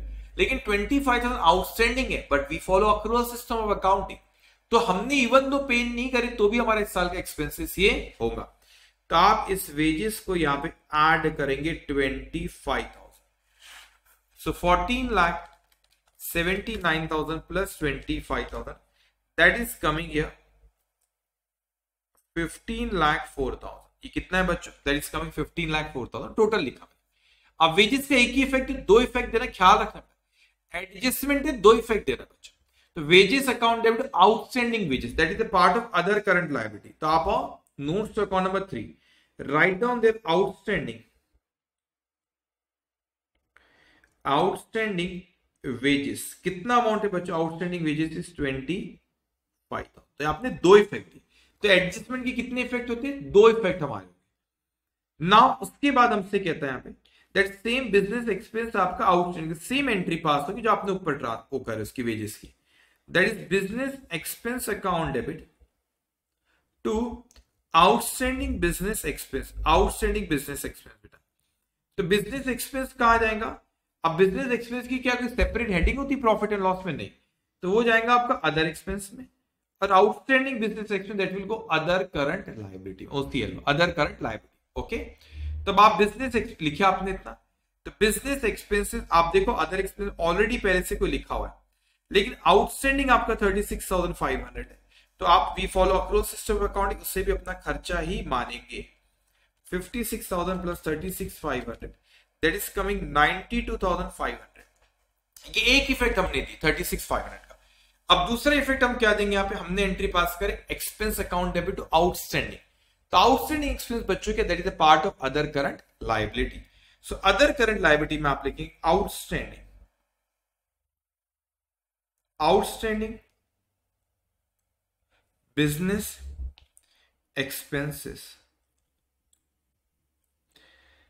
six thousand five hundred okay thirty six thousand five hundred ना उसके बाद वो हमसे कहता है that is it was decided it was decided to transfer ten thousand to reserve अब उन्होंने कहा कि रिज़र्व में ट्रांसफ़र करो। तो प्रॉफिट जितना भी होगा, आप यहाँ पे रिज़र्व में ट्रांसफ़र करो। तो ये हमने पहले ऑलरेडी डिस्कस कर चुके अब आप जो notes call number two reserve and surplus तो मैंने कहा, मैंने वहाँ पे ओपनिंग प्रॉफिट अपना वहाँ ओपनिंग प्रॉफिट मैंने वहाँ पे लिख रखा दैट सिक्सटी सेवन थाउज़ेंड अब इसमें मैं ऐड करूँगा, इस साल जो भी प्रॉफिट होगा तो मैं यहाँ लिख लेता प्रॉफिट फॉर द पीरियड और for the year profit for the year जो भी होगा अपन ऐड करेंगे। और जो भी अमाउंट रहेगा, फिर हमें कुछ ट्रांसफ़र करना ट्रांसफ़र टू रिज़र्व क्वेश्चन में उसने कहा है कि रिज़र्व में ट्रांसफ़र करो। अब रिज़र्व में कहा उसे ट्रांसफ़र करो? तो पहले से कोई रिज़र्व है नहीं। तो अपन यहाँ पे लिख देते there is no opening balance of general reserve लेकिन हमें उसने कहा कि रिज़र्व में ट्रांसफ़र करो टेन थाउज़ेंड तो यहाँ पे मैं प्रॉफिट में से टेन थाउज़ेंड को ट्रांसफ़र कर दूँगा रिज़र्व तो प्रॉफिट में मैं टेन थाउज़ेंड कम करूँगा और जनरल रिज़र्व में मैं टेन थाउज़ेंड यहाँ पे बच्चों लिख दूँगा ओके सो प्रॉफिट में से टेन थाउज़ेंड मैंने कम किया। और जनरल रिज़र्व में मैं टेन थाउज़ेंड यहाँ पे बच्चों लिख दूँगा। लिखा आपने इतना? ओके इतना लिखे। टेन उसके बाद बेटा ओके ना उसके बाद यहाँ पे आपका, आता है डेप्रिसिएशन तो हम लोग किसकी बात करें? हमें सारे आउटस्टैंडिंग एक्सपीरियंस ट्रांसफ़र सबके दो दो इफ़ेक्ट कर ठीक है? अब वो कहते हैं चार्ज डेप्रिसिएशन डेप्रिसिएशन चार्ज करने कह रहा कह रहा है। रिटर्न डाउन वैल्यू पे। तो आप प्लांट एंड मशीनरी पे फाइव परसेंट एंट्री में बताता हूँ। तो प्लांट एंड मशीनरी पे आप लिखो यहाँ पे five percent plant and machinery पे five percent then year engineering tools पे ट्वेंटी परसेंट इंजीनियरिंग टूल्स पे twenty percent then in furniture पे टेन परसेंट फर्नीचर पे ten percent and then here अच्छा बस इतना ही, फिर वो दूसरी चीज़ उस पर बनाते आगे। अब डेप्रिसिएशन लैंड पे नहीं लगता, इसलिए फ्री लैंड पे उसने नहीं है वहाँ पे कुछ भी। अब ध्यान से डेप्रिसिएशन की जब अपन एंट्री पास कर डेप्रिसिएशन चार्ज करने कहा तो मैं एंट्री पास करूँगा बेटे depreciation account debit to property plant and equipment ये एंट्री पास कर। सो डेप्रिसिएशन आपका कहा जाएगा? ये एंट्री पास कर रहे ये कहा जाएगा आपका प्रॉफिट एंड लॉस अकाउंट अलग से हेडिंग है इसकी। तो ये पीनल में चले जाएगा और पीपी में ये पीपी को आप क्या कर देंगे? पीपी में ही चलेगा पीपी का पीपी में जाएगा, उसको क्रेडिट करेंगे। तो हमको जिस रेट से डेप्रिसिएशन चार्ज करने बोला, उस रेट से हम डेप्रिसिएशन चार्ज करेंगे। सो फर्नीचर पे ten percent ten percent of one lakh fifty thousand that is going to come fifteen thousand pre और लैंड पे कुछ भी नहीं। सेवन लाख फिफ्टी थाउज़ेंड पे five percent that is thirty seven thousand five hundred ना engineering tools one lakh fifty पे twenty percent that is how much thirty thousand तो ये हमने डेप्रिसिएशन चार्ज करे बेटा, और ये हमको प्रॉफिट एंड लॉस अकाउंट में लिखना रहेगा। पीएनएल अकाउंट भी बना रहे और डेप्रिसिएशन चार्ज करने कहा है बेटा? तो अपने को प्रॉफिट एंड लॉस अकाउंट में इसको लिखना रहेगा। That is fifteen thousand plus thirty seven five hundred plus thirty thousand that is eighty two thousand five hundred तो यहाँ पर आप लिखेंगे eighty two thousand five hundred और डब्ल्यू बाद में भी लिखेंगे पर लेकिन ख्याल रखना बेटा, ये एक इफ़ेक्ट हुआ कि आपने कॉस्ट ऑफ़ पीपी को कम करे। तो एंट्री मैंने यहाँ पे पास इसकी हुई हमारी डेप्रिसिएशन अकाउंट डेबिट जो कि प्रॉफिट एंड लॉस अकाउंट में जाएगा। और पीपी को क्रेडिट करे तो पीपी की कॉस्ट ऑफ़ पीपी कम होगी। तो डब्ल्यू ओपनिंग माइनस डेप्रिसिएशन आपने कॉस्ट ऑफ़ पीपी को कम करे। ये डब्ल्यू अपने को बैलेंस शीट में लिखना रहेगा। तो इसको प्रॉफिट एंड लॉस अकाउंट में आप पहले लिख लेंगे। डब्ल्यू पर निकाल लेंगे ओपनिंग है डेप्रिसिएशन लिख लिए तो डब्ल्यू कैलकुलेट करेंगे और यहाँ पर प्रॉफिट एंड लॉस अकाउंट में जाके लिखेंगे eighty two thousand five hundred तो हमने दो इफ़ेक्ट दिए eighty two thousand five hundred ये दूसरा इफ़ेक्ट है पहला इफ़ेक्ट कॉस्ट ऑफ़ पीपी से कम करे दूसरा इफ़ेक्ट बेटा अपने यहाँ पे प्रॉफिट एंड लॉस अकाउंट उसको लिखे। ओके अब उसके बाद यहाँ पे हमसे कहता है that provide 25,000 rupees 21 as doubtful debt for trade receiver. तो प्रोविज़न फॉर डाउटफुल डेट पे बच्चा। इसकी एंट्री क्या पास होती? है profit and loss account debit to provision for doubtful debt to provision for doubtful debt इसकी ये एंट्री पास होती है तो अमाउंट दे रखा है उसने ट्वेंटी फाइव थाउज़ेंड तो प्रॉफिट एंड लॉस अकाउंट में क्या कोई हेडिंग है? प्रोविज़न फॉर डाउटफुल डेट नहीं। तो वो कहा जाएगा? अदर एक्सपेंसेस में। और इसको अपन क्या कहते हैं? प्रोविज़न फॉर डाउटफुल डेट वैसे तो क्रेडिट बैलेंस होता है। अब एक, मेरी बात बहुत ध्यान से इसलिए कहते हैं कि जब पढ़ाता हूँ तो इवन तो बेसिक चीज़ें रहती, बड़े ध्यान से सुनना होता है। आपको ख्याल है, हम लोग पढ़े थे फ़र्स्ट डे हमारे इस ईओ बैच में, जो फ़र्स्ट डे हमारा होता है बच्चों। तो फ़र्स्ट डे में मैंने जब आपको पढ़ाया था कि आपके दो तरह के प्रोविज़न होते एक प्रोविज़न होता है जिसमें एक्चुअल आउटफ्लो होता है। For example provision for tax okay एक प्रोविज़न होता है जिसमें एक्चुअल में आउटफ्लो नहीं होता, जैसे कि प्रोविज़न फॉर डाउटफुल डेट तो प्रोविज़न फॉर डाउटफुल डेट को कभी भी लाइबिलिटी साइड में प्रोविज़न के अंडर नहीं बता दे क्योंकि एक्चुअल में प्रोविज़न है नहीं। प्रोविज़न की one of the condition that there should be outflow तो वो एक्चुअल आउटफ्लो जिसमें होता है, वही प्रोविज़न में बताया जाता है। लेकिन ये जो प्रोविज़न इसको this we adjust against the asset है तो इसको आप जैसे provision for depreciation provision for doubtful debt ये कभी भी लाइबिलिटी साइड में प्रोविज़न में नहीं आता बेटा। तो प्रोविज़न फॉर डाउटफुल डेप आप एसेट में से माइनस करते। तो हम क्या करेंगे? ट्रेड रिसीवल में से माइनस तो पहले दो इफ़ेक्ट देते। प्रॉफिट एंड लॉस अकाउंट में बच्चों डेबिट करना है। तो कोई separate profit and loss account में प्रॉफिट एंड लॉस अकाउंट में कोई सेपरेट हेडिंग है नहीं। प्रोविज़न फॉर डाउटफुल डेट तो अदर एक्सपेंसेस में आ जाएँगे। तो आप यहाँ पे लिखेंगे provision for doubtful debt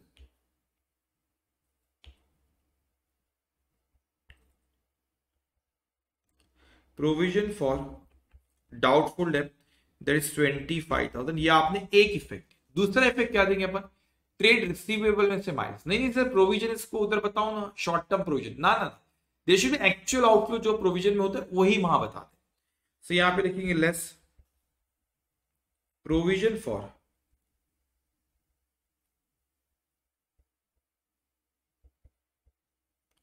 doubtful debt okay less provision for doubtful debt twenty five thousand इसका भी हमने इफ़ेक्ट दे दी अब इस चीज़ को अच्छे से समझना बेटे अब देखो, यहाँ पे प्रोविज़न फॉर इनकम टैक्स बोला तो जब उसने हमें प्रोविज़न फॉर इनकम टैक्स जो यहाँ पे हमसे कहा है okay provision for income tax जो यहाँ पे कहा है, अब उसकी एंट्री भी वैसी ही होती है profit and loss account debit to provision for tax अब इसने परसेंटेज दिया तो ऑब्वियसली उसके पहले मुझे प्रॉफिट निकालना पड़ेगा प्रॉफिट का थर्टी परसेंट लेंगे। लेकिन कंसेप्ट समझो।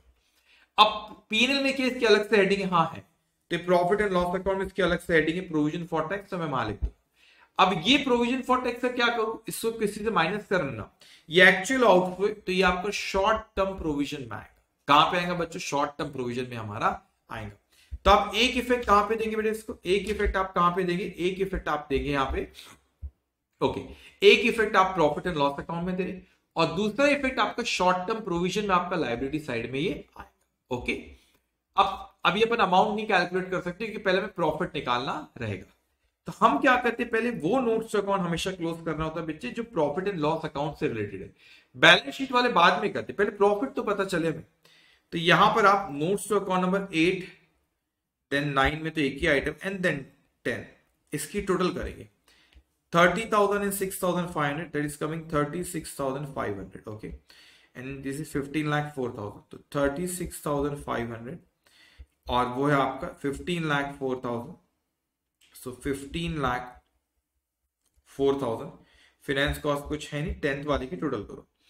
That is thirty thousand plus fifty seven thousand five hundred plus fifty five plus ninety two five hundred plus fifteen thousand plus sixty seven five hundred plus fifty six five hundred plus twenty five five hundred plus twenty five four lakh twenty four thousand five hundred four lakh twenty four thousand five hundred okay तो total आई आपकी four lakh twenty four thousand five hundred तो आप लिखेंगे profit and loss account में four lakh twenty हमने profit and loss account के सारे आइटम लिख लिए बच्चों। अब इनकम की टोटल करो thirty six lakh seventeen thousand plus thirty six thousand five hundred that is coming thirty six lakh fifty three thousand five hundred twelve lakh thirty two thousand five hundred minus forty thousand plus fifteen lakh four thousand plus eighty two five hundred plus eighty two five hundred कर लिया हमें four lakh twenty four thousand five hundred that is coming thirty two lakh three thousand five hundred तब income minus expense तो total income हुई हमारी thirty six lakh fifty three thousand five hundred expense हुए बच्चों thirty two lakh three thousand five hundred so thirty six lakh thirty six lakh fifty three thousand five hundred thousand three thousand five hundred that is coming four lakh fifty आपका यहाँ पर आ गया profit before tax अब देखो ध्यान से बच्चों प्रॉफिट बिफोर टैक्स हमारा आ गया। अब हमें यहाँ पे प्रोविज़न फॉर टैक्स इसका thirty percent cost so four lakh fifty thousand का थर्टी परसेंट अगर हम ले that is coming how much one lakh thirty five thousand आपने एक इफ़ेक्ट दे दिए बेटा। आपने एक इफ़ेक्ट इसका दे दिए बच्चों, ये प्रॉफिट एंड लॉस अकाउंट में डेबिट कर दिए। इसका दूसरा इफ़ेक्ट क्या होगा प्रॉफिट एंड लॉस अकाउंट में डेबिट हो चुका। दूसरा one lakh thirty five yes correct बेटा। Four lakh fifty yes correct very good तो यहाँ पे आएगा आपका provision for tax provision for tax कहाँ आता है बच्चों? That is going to come short term provision तो अभी लिख लो उसको। एक, फिर अपन प्रॉफिट आफ्टर टैक्स पे भी आता लेकिन शॉर्ट टर्म प्रोविज़न में आप यहाँ पे जाके लिखेंगे। Provision for tax right down there provision for tax देखो, जब हम पढ़ाई करें ना, एकदम उस पर फुल कॉन्सेंट्रेशन इसी पर बीच में कोई इधर उधर की बात नहीं। पूरा फोकस क्वेश्चन पे। One lakh thirty five thousand ठीक है? अब आपका प्रॉफिट आफ्टर टैक्स है। Four lakh fifty thousand minus one lakh thirty five tax आपने माइनस कर that is coming three lakh fifteen thousand अब ये प्रॉफिट आफ्टर टैक्स है बेटा।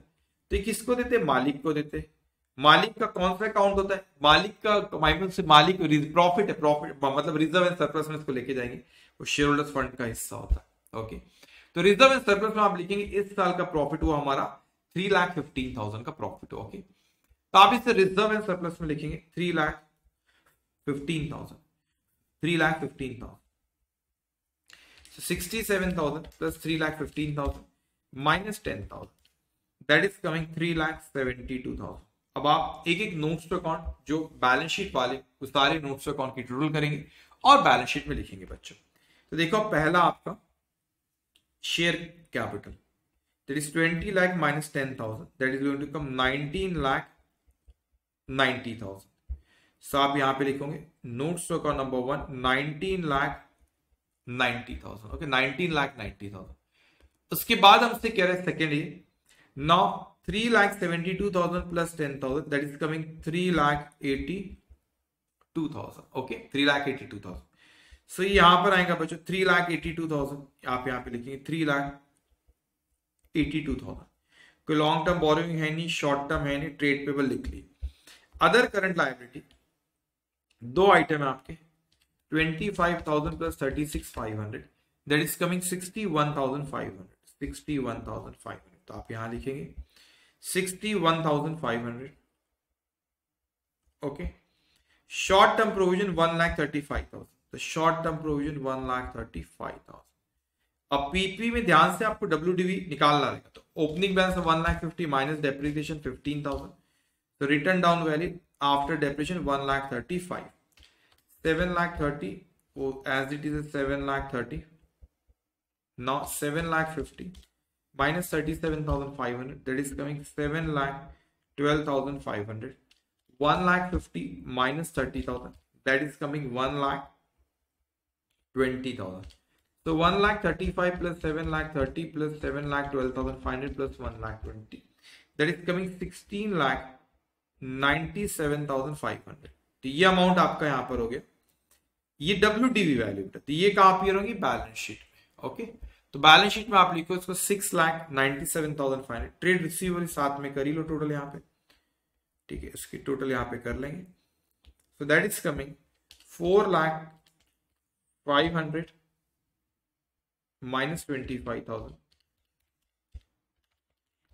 three lakh seventy five thousand five hundred twenty thousand plus eleven that is thirty one thousand तो अब इसको balance sheet में लिखेंगे sixteen lakh ninety seven thousand five hundred so write down here sixteen lakh nineteen seven ninety seven thousand five intangible है नहीं. Non current investment है नहीं. Inventory लिख चुके. ट्रेड रिसीवेबल आपका है.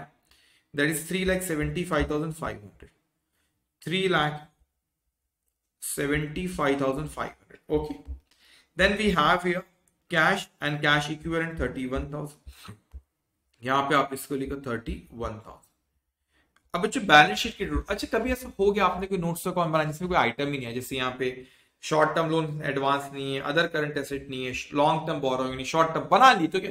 कुछ नहीं, वहाँ पे डैश कर देना, उसमें कुछ नहीं होता।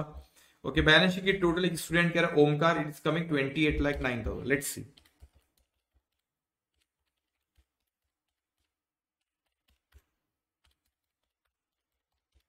twenty eight lakh nine thousand Now is 16 lakh 97,500, 7 lakh 5,000 plus 3 lakh 75, 500 plus 31,000 that is coming 28 lakh 9,000 done. इसी के साथ करेक्ट होगा इसी के साथ बच्चों यहाँ पे ये क्वेश्चन हमारा खत्म होता है ठीक है? सो so, देखो स्पीड में हमने वन आवर लगा ये क्वेश्चन एग्ज़ाम में वन आवर लगना चाहिए पच्चीस मिनट उससे ज़्यादा नहीं। ट्वेंटी फाइव मिनट मैक्सिमम उससे ज़्यादा नहीं दे सकते। तो आपको एक घंटा। आपको समझाते समझाते लिखता हूँ ना धीरे धीरे समझाना रहता है मेरे को आप इसलिए वन आवर लग गया मेरे को। अब आपको एग्ज़ाम में ट्वेंटी फाइव मिनट्स में खत्म करना है। इसलिए अपने को क्या करना है बेटा प्रैक्टिस जो होमवर्क दे रहा हूँ, ईमानदारी से करना। हर चैप्टर के एंड में मैं आपको एलएमएम देता हूँ। वो एल की ही प्रैक्टिस आपको करना रहेगा बाद ठीक है? अब बच्चे, यहाँ पे एक बार रेपिड जिससे हम देखते कौन से पॉइंट्स हमारे कवर हो गए। आपको ख्याल है, ये वाला पॉइंट मैंने आपको पहले कोई होमवर्क दिया था शायद? Preliminary expenses to be adjust, to be written of adjusting against general reserve i think कल के क्वेश्चन में होमवर्क था, कोई होमवर्क दिया था।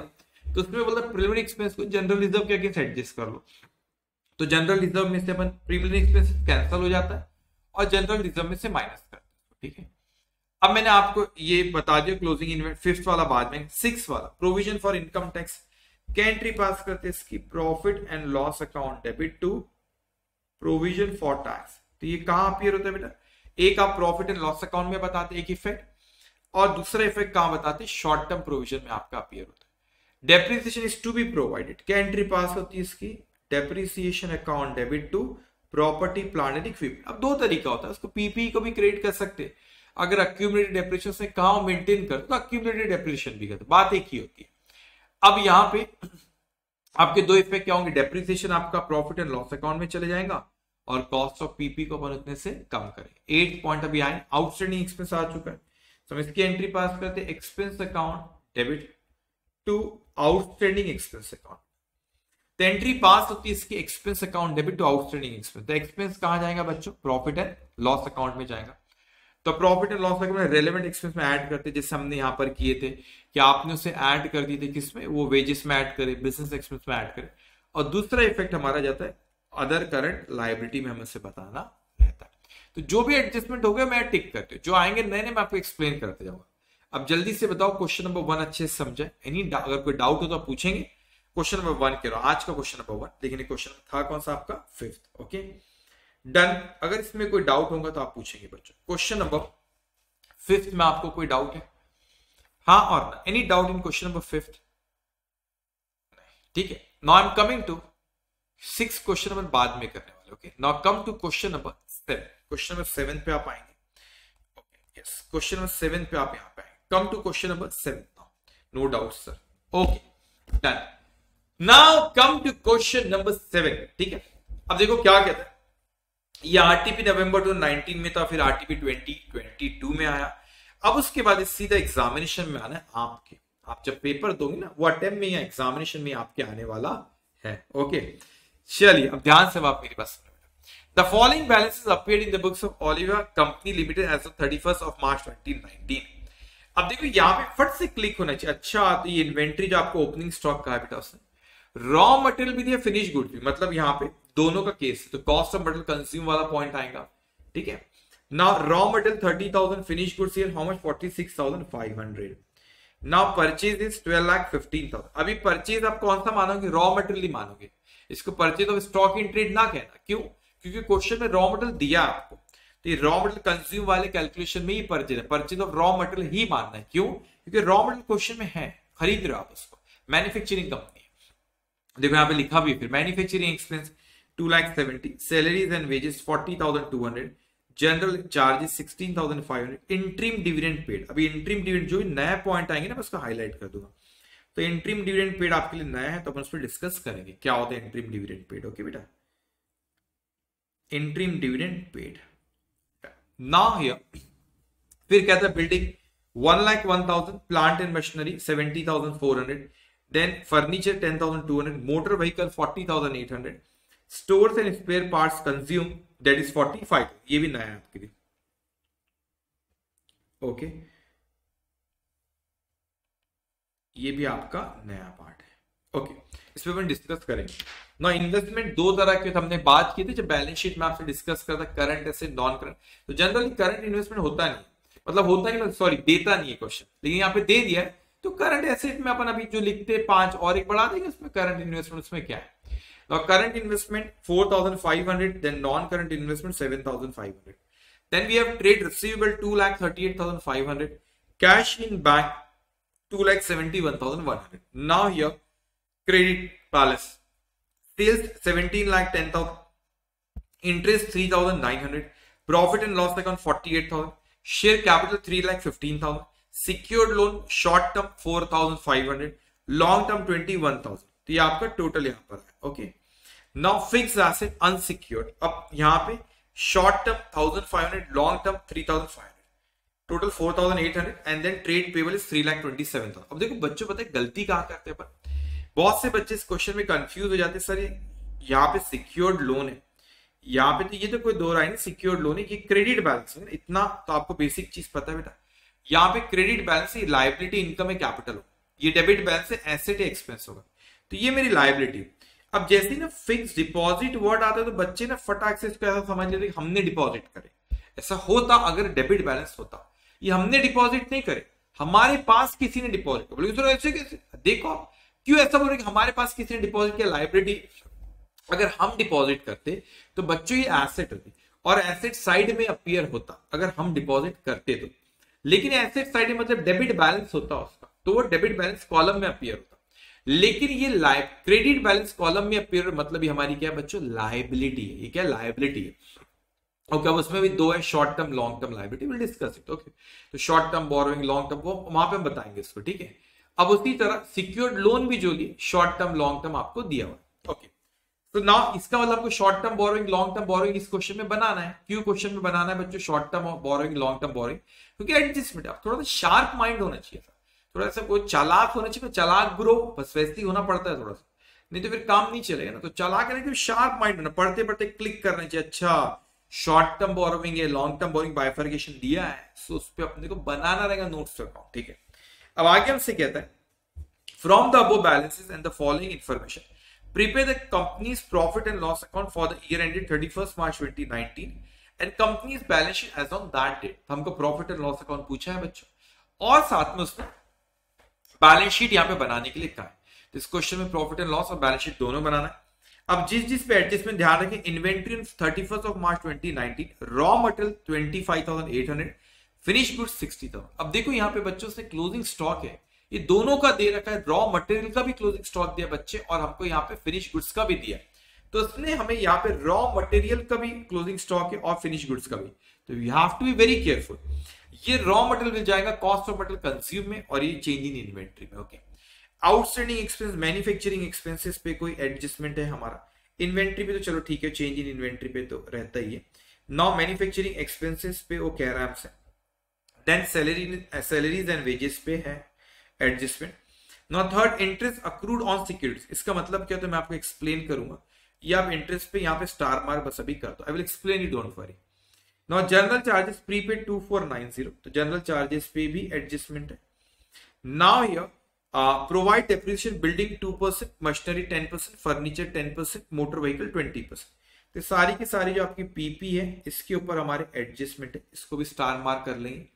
देन वी हैव बेटा current maturity of long term loan is one thousand तो कोई लॉन्ग टर्म लोन होगा हमारा यहाँ पे ठीक है? आप ये लॉन्ग टर्म लोन है इस पे स्टार मार्क कर देता हूँ। मैंने लोन है वो ठीक है? तो लॉन्ग टर्म लोन उस पर एडजस्टमेंट है। मगर उसका नया एडजस्टमेंट आपके लिए नहीं है current maturity of long term borrowing तो जो भी current maturity of long term borrowing होती है तो लॉन्ग टर्म बोरोइंग लेकिन वो पोर्शन जो एक साल में मैच्योर होने वाला that part of short term borrowing okay पहले में डिस्कस किए। Last one the taxation provision 40 percent of net profit तो 40 परसेंट रेट ऑफ़ टैक्स तो प्रोविज़न फॉर टैक्स तो जो भी प्रॉफिट आएगा, उसमें प्रोविज़न फॉर टैक्स हमको 40 परसेंट बना रहा है। अब स्पीड बढ़ाएँगे, नहीं बढ़ाएँगे? मेरे को कुछ नहीं है। मैं तो दो घंटे करूँ। वन आवर लगाया मैंने इसके पिछले क्वेश्चन को बेटा।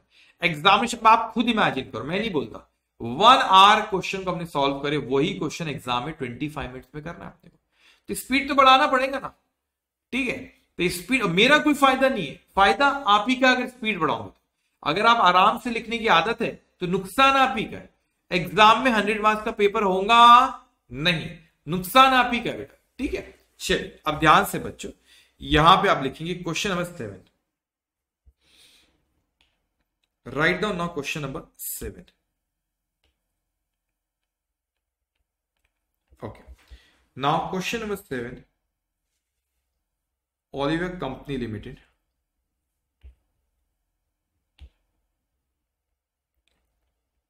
Okay. Part 1.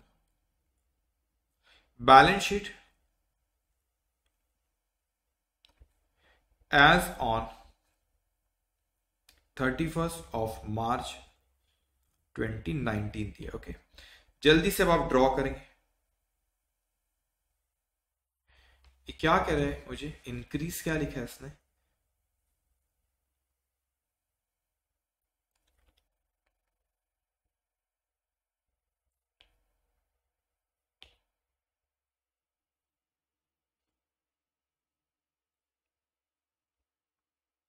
Okay note amount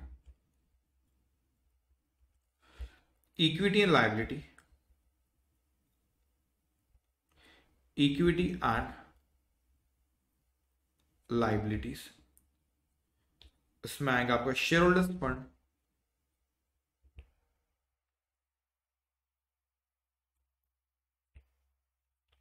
share capital reserve and surplus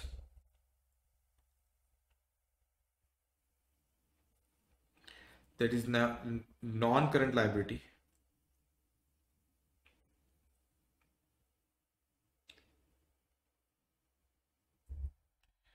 Long term borrowing.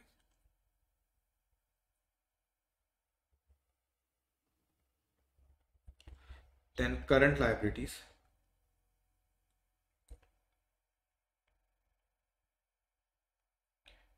A, B, C, D. Short term borrowing.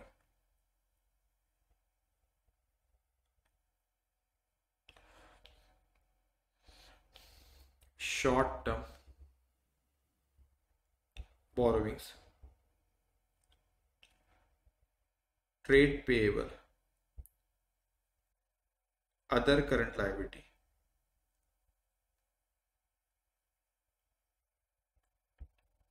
Short term provision.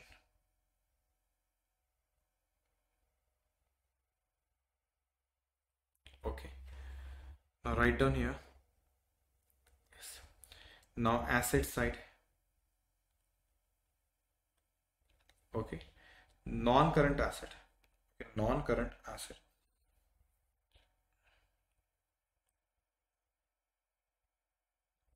उसमें तीन चीज़ आती है. Property plant and equipment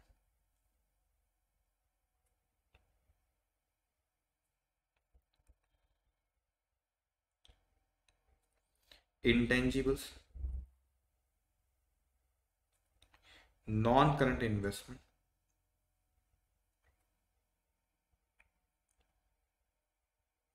non current investment बेटा then current asset में ख्याल रखना पाँच चीज़ें लिखते लेकिन इसमें करंट इन्वेस्टमेंट भी दिया तो वो भी आप लिख लेंगे।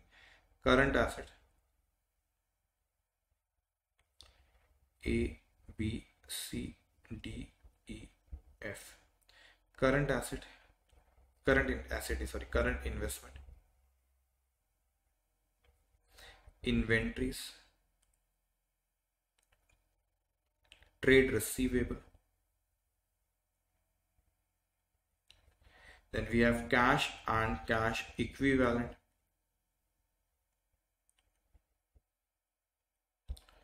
Then here short term.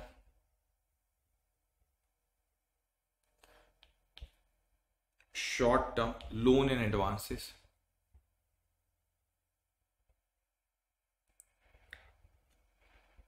Loan and advances. Then here other current assets. Okay, other current assets.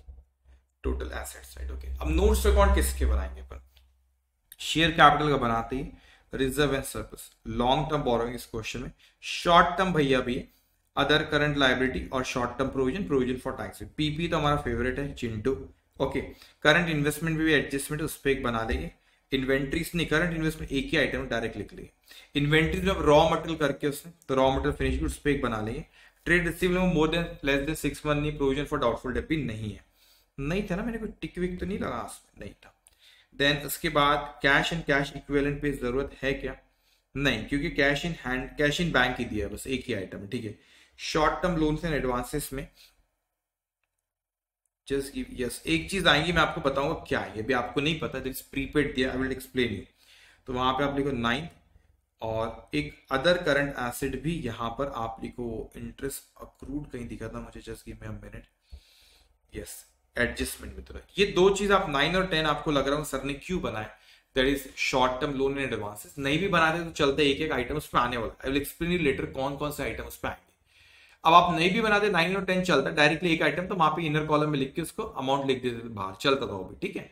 अब कौन से आइटम आएँगे विल डिस्कस अब इसके बाद अपने को क्या ड्रॉ करना है? Profit and loss so write down here part two part two statement of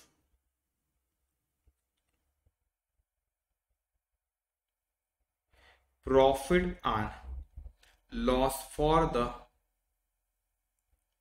year ended 31st of March 2019 जल्दी से इसे ड्रॉ करेंगे प्रॉफिट एंड लॉस को।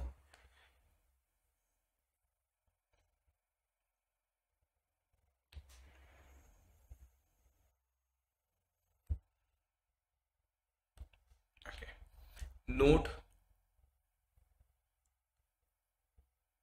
amount.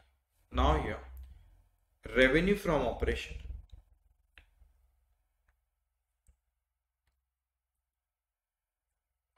Other income.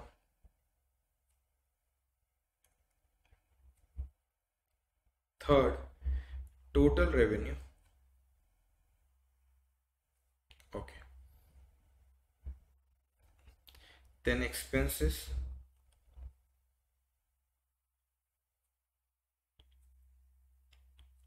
कितने? सात। एक, दो, तीन, चार, पाँच, छ, सात। पहला बेटा कॉस्ट ऑफ़ मटेरियल कंज्यूम इस क्वेश्चन में रॉ मटेरियल है तो इस पे भी नोट्स कौन बनेगा? Now purchase of stock in trade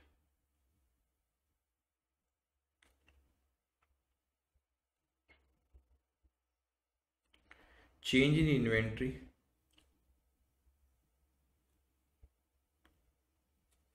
Now employee benefit expense. Employee benefit expenses. Finance cost. Depreciation. And amortization expense.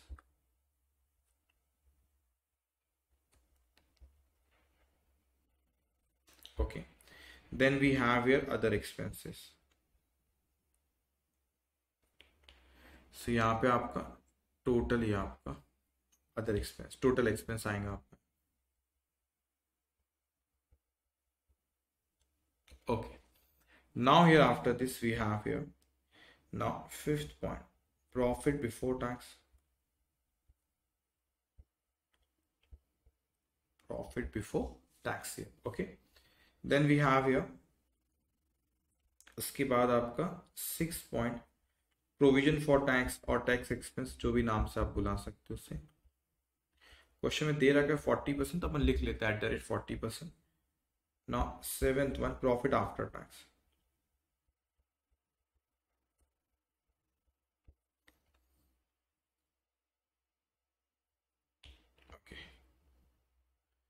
अब इसमें नोट्स अकाउंट किसका बनाना चाहिए बच्चों? ठीक है, ध्यान से। बेटे, अपने कितने बनाए बैलेंस शीट में? बैलेंस शीट में हमने टेन नोट्स अकाउंट बनाए, ठीक है? अब यहाँ पे रेवेन्यू फ्रॉम ऑपरेशन तो एक ही फिगर दी, वहाँ पे सेल्स आपको दिया है। लेकिन क्या होगा अदर इनकम आपकी बहुत है इंटरेस्ट है आपका, ठीक है? यहाँ पे तो ऐसे एक ही दिख रहा है मुझे इंटरेस्ट है। अच्छा यहाँ पे इस पे interest accrued on securities will explain कि क्या है वो, ठीक है? तो यहाँ पे इसमें adjustment interest accrued on interest पे यहाँ पे तो इसीलिए मैं उसका एक नोट्स अकाउंट बना लेते तो अदर इनकम इलेवन ठीक है? दस बैलेंस शीट में बना लेते अब raw material cost of material consume भी आएगा तो इस पे अपन बना लेते एक कॉस्ट ऑफ़ मटेरियल कंज्यूम पे, ठीक है? Purchase of stock in trade है change in inventory inner column employ benefit expenses में कोई एडजस्टमेंट है क्या? तो आप एम्प्लॉय बेनिफिट एक्सपेंस मैंने कुछ स्टार मार्क किया, ये सैलरी एंड वेजेस पे किया। तो यहाँ पे इस पे एक बना लेते अपन थर्टीन फाइनेंस कॉस्ट है नहीं डेप्रिसिएशन रहा भी तो कोई एक फिगर लिखना है बस। अदर एक्सपेंसेस तो हमेशा बनाना था कि इसमें बहुत से आइटम जो भी बचे हुए थे, सारे उसमें आते तो टोटल फोर्टीन नोट्स अकाउंट में मैं बार बार एक मैंने फोर्टीन का आपके फिफ्टीन हो सकते, आपके थर्टीन हो सकते, उसमें कोई दिक्कत नहीं है ओके नाउ अब यहाँ पे हम नोट्स अकाउंट फोर्टीन ड्रॉ करना, फिर क्वेश्चन सॉल्व करना, कुछ शुरू करना रहेगा। So write down your notes account write down notes account ठीक है? ये क्वेश्चन करेंगे, उसके बाद ही ब्रेक लेंगे। ठीक है? ये क्वेश्चन करेंगे, उसके बाद ही अपन ब्रेक लेंगे। ठीक है?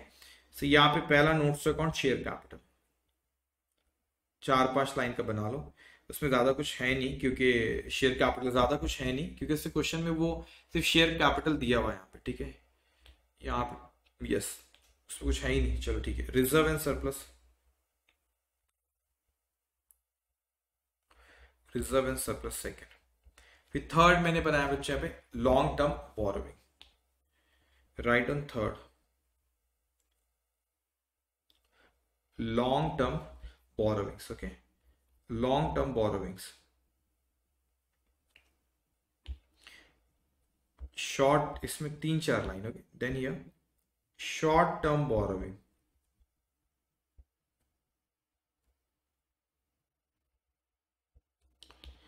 okay then we have उसमें शॉर्ट टर्म बोरोविंग में पाँच छह लाइन देन ये फिफ्थ अपन ने बनाए हैं other current liability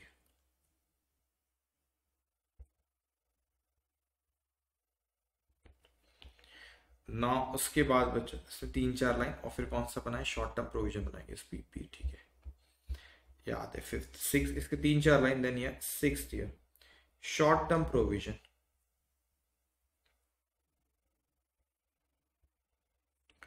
short term provision okay उसमें फिर यहाँ तीन चार लाइन देन ये seventh here that is property plant and equipment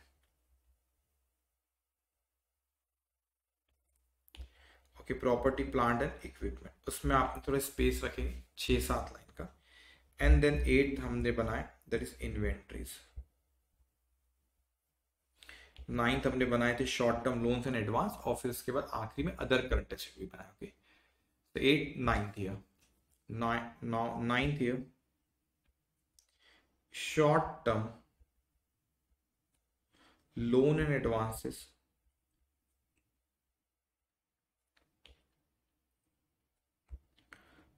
तीन चार लाइन देन ये tenth one other current asset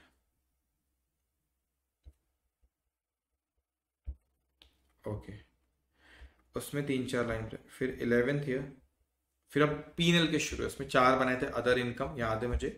Cost of material consume employ benefit and other expenses write down here other income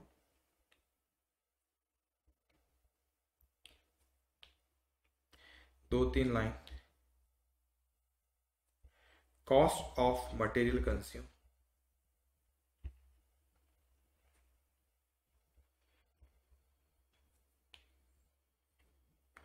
now उसमें पांच छह line now ये thirteen now employee benefit expenses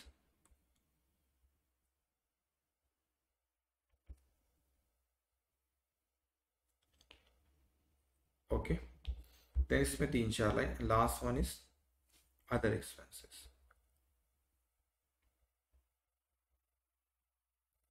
Okay other expenses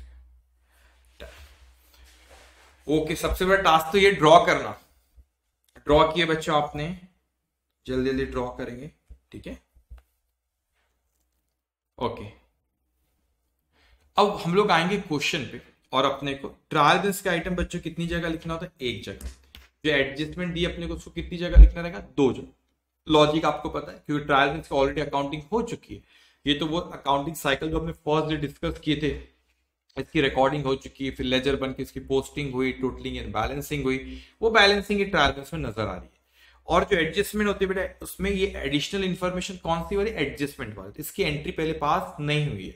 तो हमें दो effect देना रहेगा, इसलिए उसके दो इफ़ेक्ट अपन यहाँ पे देते ओके अब यहाँ पे बच्चों अपन शुरू करेंगे सबसे पहले, ठीक है? अब यहाँ पे ओपनिंग स्टॉक है, इसका क्लोजिंग स्टॉक है चेंज इन इन्वेंट्री अपन लिख लेंगे। अब रॉ मटेरियल ठीक है? तो opening stock of raw material और फिनिश गुड्स अब ध्यान से बच्चों, ये रॉ मटेरियल ओपनिंग स्टॉक और जो मेरी, जो लिखने की, जैसी मेरी आदत होती बस वैसी आपकी आदत मतलब वैसा ही आपको कॉपी पेस्ट करना जहाँ मैंने स्टार मार्क आपने स्टार मार्क हाईलाइटर हो तो बहुत अच्छा हाईलाइट मैंने जहाँ हाईलाइट किया, आपने। बिल्कुल वैसी आदत आपकी होना, ठीक है? अब मैंने कहा कि रॉ मटेरियल अगर मैं बच्चे यहाँ पे कहूँ तो raw opening stock of raw material तो क्या ये चेंज इन इन्वेंट्री में आता नहीं. ये आता है रॉ मटेरियल कंज्यूम्ड वाले पॉइंट में आता है. है ना? और ये आपका चेंज इन इन्वेंट्री वाले पॉइंट में आता है. याद रखना रॉ मटेरियल बच्चों. तो रॉ मटेरियल कहा था रॉ मटेरियल कंज्यूम्ड वाले पॉइंट में वो आता है. इसको आप ख्याल रखें. रॉ मटेरियल कौन से आता है? रॉ मटेरियल कंज्यूम वाले पॉइंट में आता है. तो write on there thirty thousand तो आप वन बाय वन तो कॉस्ट ऑफ़ मटेरियल कंज्यूम हमने बनाए. That is notes to account number twelve तो ट्वेल्व में आप जाके लिखेंगे वहाँ पे। पहले आप इस तरह लिख लो जैसे मैं लिख रहा हूँ। Opening stock of raw material opening inventory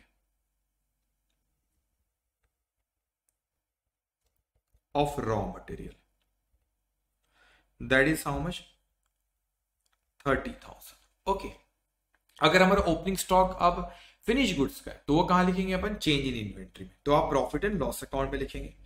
आप इनर कॉलम में चेंज इन इन्वेंट्री में लिखो। That is forty six thousand five hundred आप यहाँ पे लिखेंगे forty six thousand five hundred okay ना उसके बाद परचेज बेटा। अभी कौन सा परचेज होगा? लॉजिकली मैं सोचू। तो आप बोलेंगे stock in trade stock in trade सोचना सही नहीं है यहाँ पे। क्योंकि क्वेश्चन में रॉ मटेरियल है ना बच्चों? क्वेश्चन में रॉ मटेरियल है। और जब क्वेश्चन में रॉ मटेरियल है आपका, इसका मतलब उस रॉ मटेरियल ले रहा है मैन्युफैक्चरिंग कंपनी मैन्युफैक्चर करो फिर फिनिश गुड्स बन रहा है। तो ये परचेज ऑफ़ फिनिश गुड से purchase of stock and trade नहीं, ये क्या आपका परचेज ऑफ़ रॉ मटेरियल ठीक है? तो ये आपका कहा आएगा? परचेज ऑफ़ रॉ मटेरियल तो ये भी जाएगा आपका रॉ मटेरियल कंज्यूम्ड वाले पॉइंट में, ठीक है? ट्वेल्व लाख फिफ्टीन थाउज़ेंड तो आप रॉ मटेरियल कंज्यूम वाले पॉइंट में लिखेंगे notes to account number twelve में आप लिखो बच्चों। Write on then add purchase twelve lakh now उसके बाद हमसे कहते हैं manufacturing is there separate heading for manufacturing expense नहीं ये कहा जाएगा आपका अदर एक्सपेंस में that is two lakh seventy thousand तो अदर एक्सपेंसेस में आप लिखो मैन्युफैक्चरिंग एक्सपेंस इसमें कोई एडजस्टमेंट स्टार मार्क है तो इनर कॉलम में लिखना उसको okay manufacturing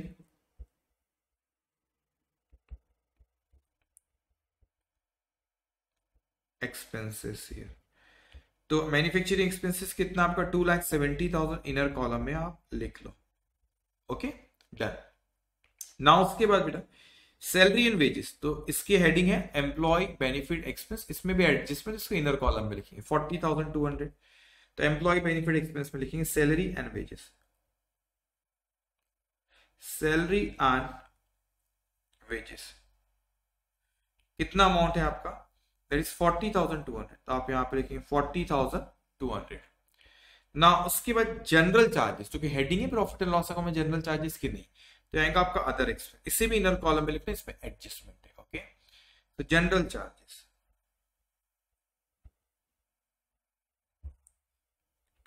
that is coming sixteen thousand five hundred तो आप यहाँ पे लिखेंगे sixteen thousand five hundred okay sixteen thousand five hundred लिखे आपने इतना। अब उसके बाद अगर बच्चों आप क्वेश्चन में यहाँ पे देखोगे तो आपको वहाँ पे नज़र आएँगे इंट्रीम डिविडेंड पेड ये आपके लिए नया पॉइंट है बच्चे। अब इंट्रीम डिविडेंड आपने पे कर चुके तो अकाउंटिंग समझा करो। ये वो डिविडेंड नहीं जो फाइनेंशियल ईयर के बाद डिक्लेयर करा गया और फिर आपने अगले इस साल नोट्स अकाउंट में आएगा, ऐसे पॉइंट बताया आपको नोट्स अकाउंट में आएगा, फिर अगले साल उसको अकाउंट करेंगे, ऐसा नहीं है। ये ट्रायल बैलेंस में अपियर हो रहा है मतलब इसकी अकाउंटिंग एंट्री ऑलरेडी पास हो चुकी है। बेसिक्स ऑफ़ अकाउंटिंग से कनेक्ट करा करो बच्चों। अगर ये ट्रायल बैलेंस में अपियर हो मतलब इसकी हमने ऑलरेडी अकाउंटिंग एंट्री पास कर चुके तो ट्वेंटी सेवन थाउज़ेंड जो हमको यहाँ पे अमाउंट अपियर हो रहा है, इसकी ऑलरेडी एंट्री पास हो चुकी है। और इंट्रीम डिविडेंड हमने कोई साल के आखिरी में इंट्रीम डिविडेंड क्वार्टरली हम उसको देते रहते हैं सिक्स मंथली जब भी लगता है। तो इंट्रीम इसको ट्रायल बैलेंस का आइटम एक ही चाहिए। आप बोलेंगे, सर एक्सपेंस से प्रॉफिट एंड लॉस अकाउंट में ले जाओ सुनो मेरी बात। अब ये शेड्यूल थ्री आपको कंपनीज़ एक्ट का कहता है कि जो इंट्रीम डिविडेंड आपने पे करे basically it's appropriation of profit profit का एक हिस्सा है जो मैं बांट तो इसीलिए वो कहते हैं कि पीनल अकाउंट में मत लिखो इसे। वो कहते हैं कि रिज़र्व एंड सरप्लस में जो आपका प्रॉफिट होता है ना बच्चे, उसमें से डिडक्ट करो। Deduct from reserve and surplus अब बात लॉजिकली अगर देखा जाए बच्चों तो बात एक ही है। क्यों बात एक ही है? क्योंकि आपने प्रॉफिट एंड लॉस अकाउंट में लेके जाओगे प्रॉफिट आएगा कम। वो रिज़र्व एंड सरप्लस में जाता है। आप प्रॉफिट एंड लॉस अकाउंट में ना ले जाते हुए रिज़र्व एंड सरप्लस में जाके माइनस कर करते अल्टीमेटली फाइनल फिगर सेम ही होगा रिज़र्व एंड सरप्लस का आउटर कॉलम लेकिन इसको पीनल अकाउंट में ले जाना सही नहीं है शेड्यूल थ्री के तो सही भी कह रहा है?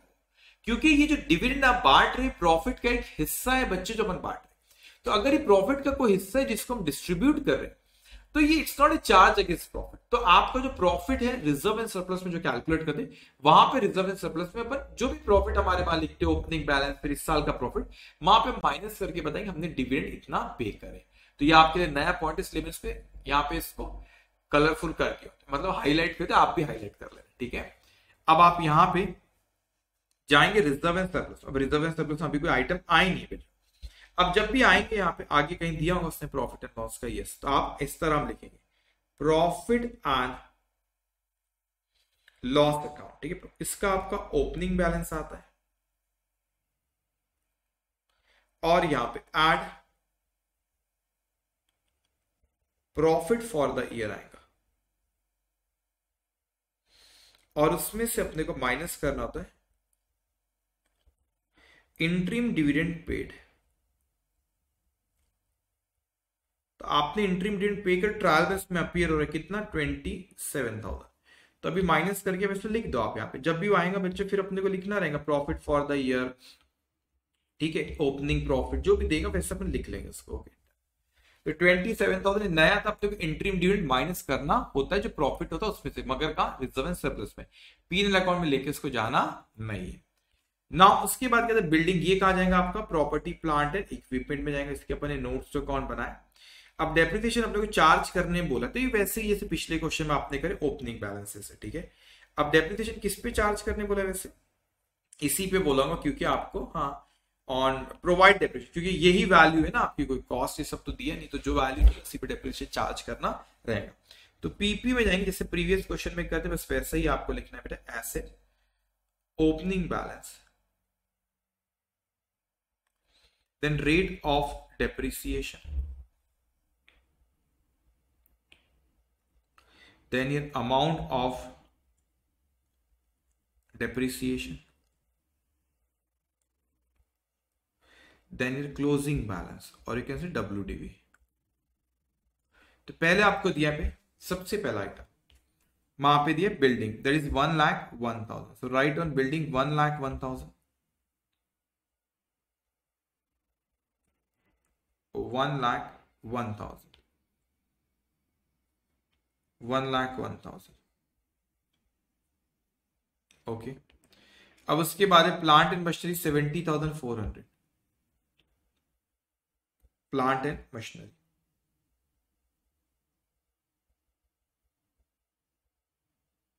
okay then we have furniture okay. Then we have furniture 10200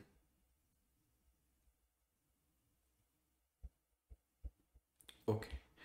Now here, motor vehicle 40800 motor vehicle, ठीक है? Forty thousand eight hundred. और बेटे जब पढ़ाऊँगा ना मैं, जब अभी तो एकदम फोकस पूरा इस पर कोई और बात कुछ भी नहीं करना अपने को, ठीक है?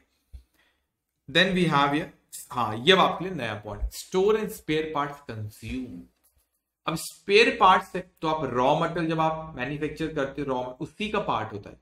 तो ये आपका इसलिए किसमें आ जाएगा आपका? रॉ मटेरियल कंज्यूम वाला जो है ना, उसी वर्किंग नोट उसी नोट्स टू अकाउंट में जाता है। क्योंकि आपने consumable consumable storage spare part spare part रहते हैं जब रॉ मटेरियल जो बनाते वक्त अपने को लगता है। तो फोर्टी फाइव थाउज़ेंड आपका रॉ मटेरियल कंज्यूम वाले पार्ट में फोर्टी फाइव थाउज़ेंड तो आप, ये आपके लिए नया था।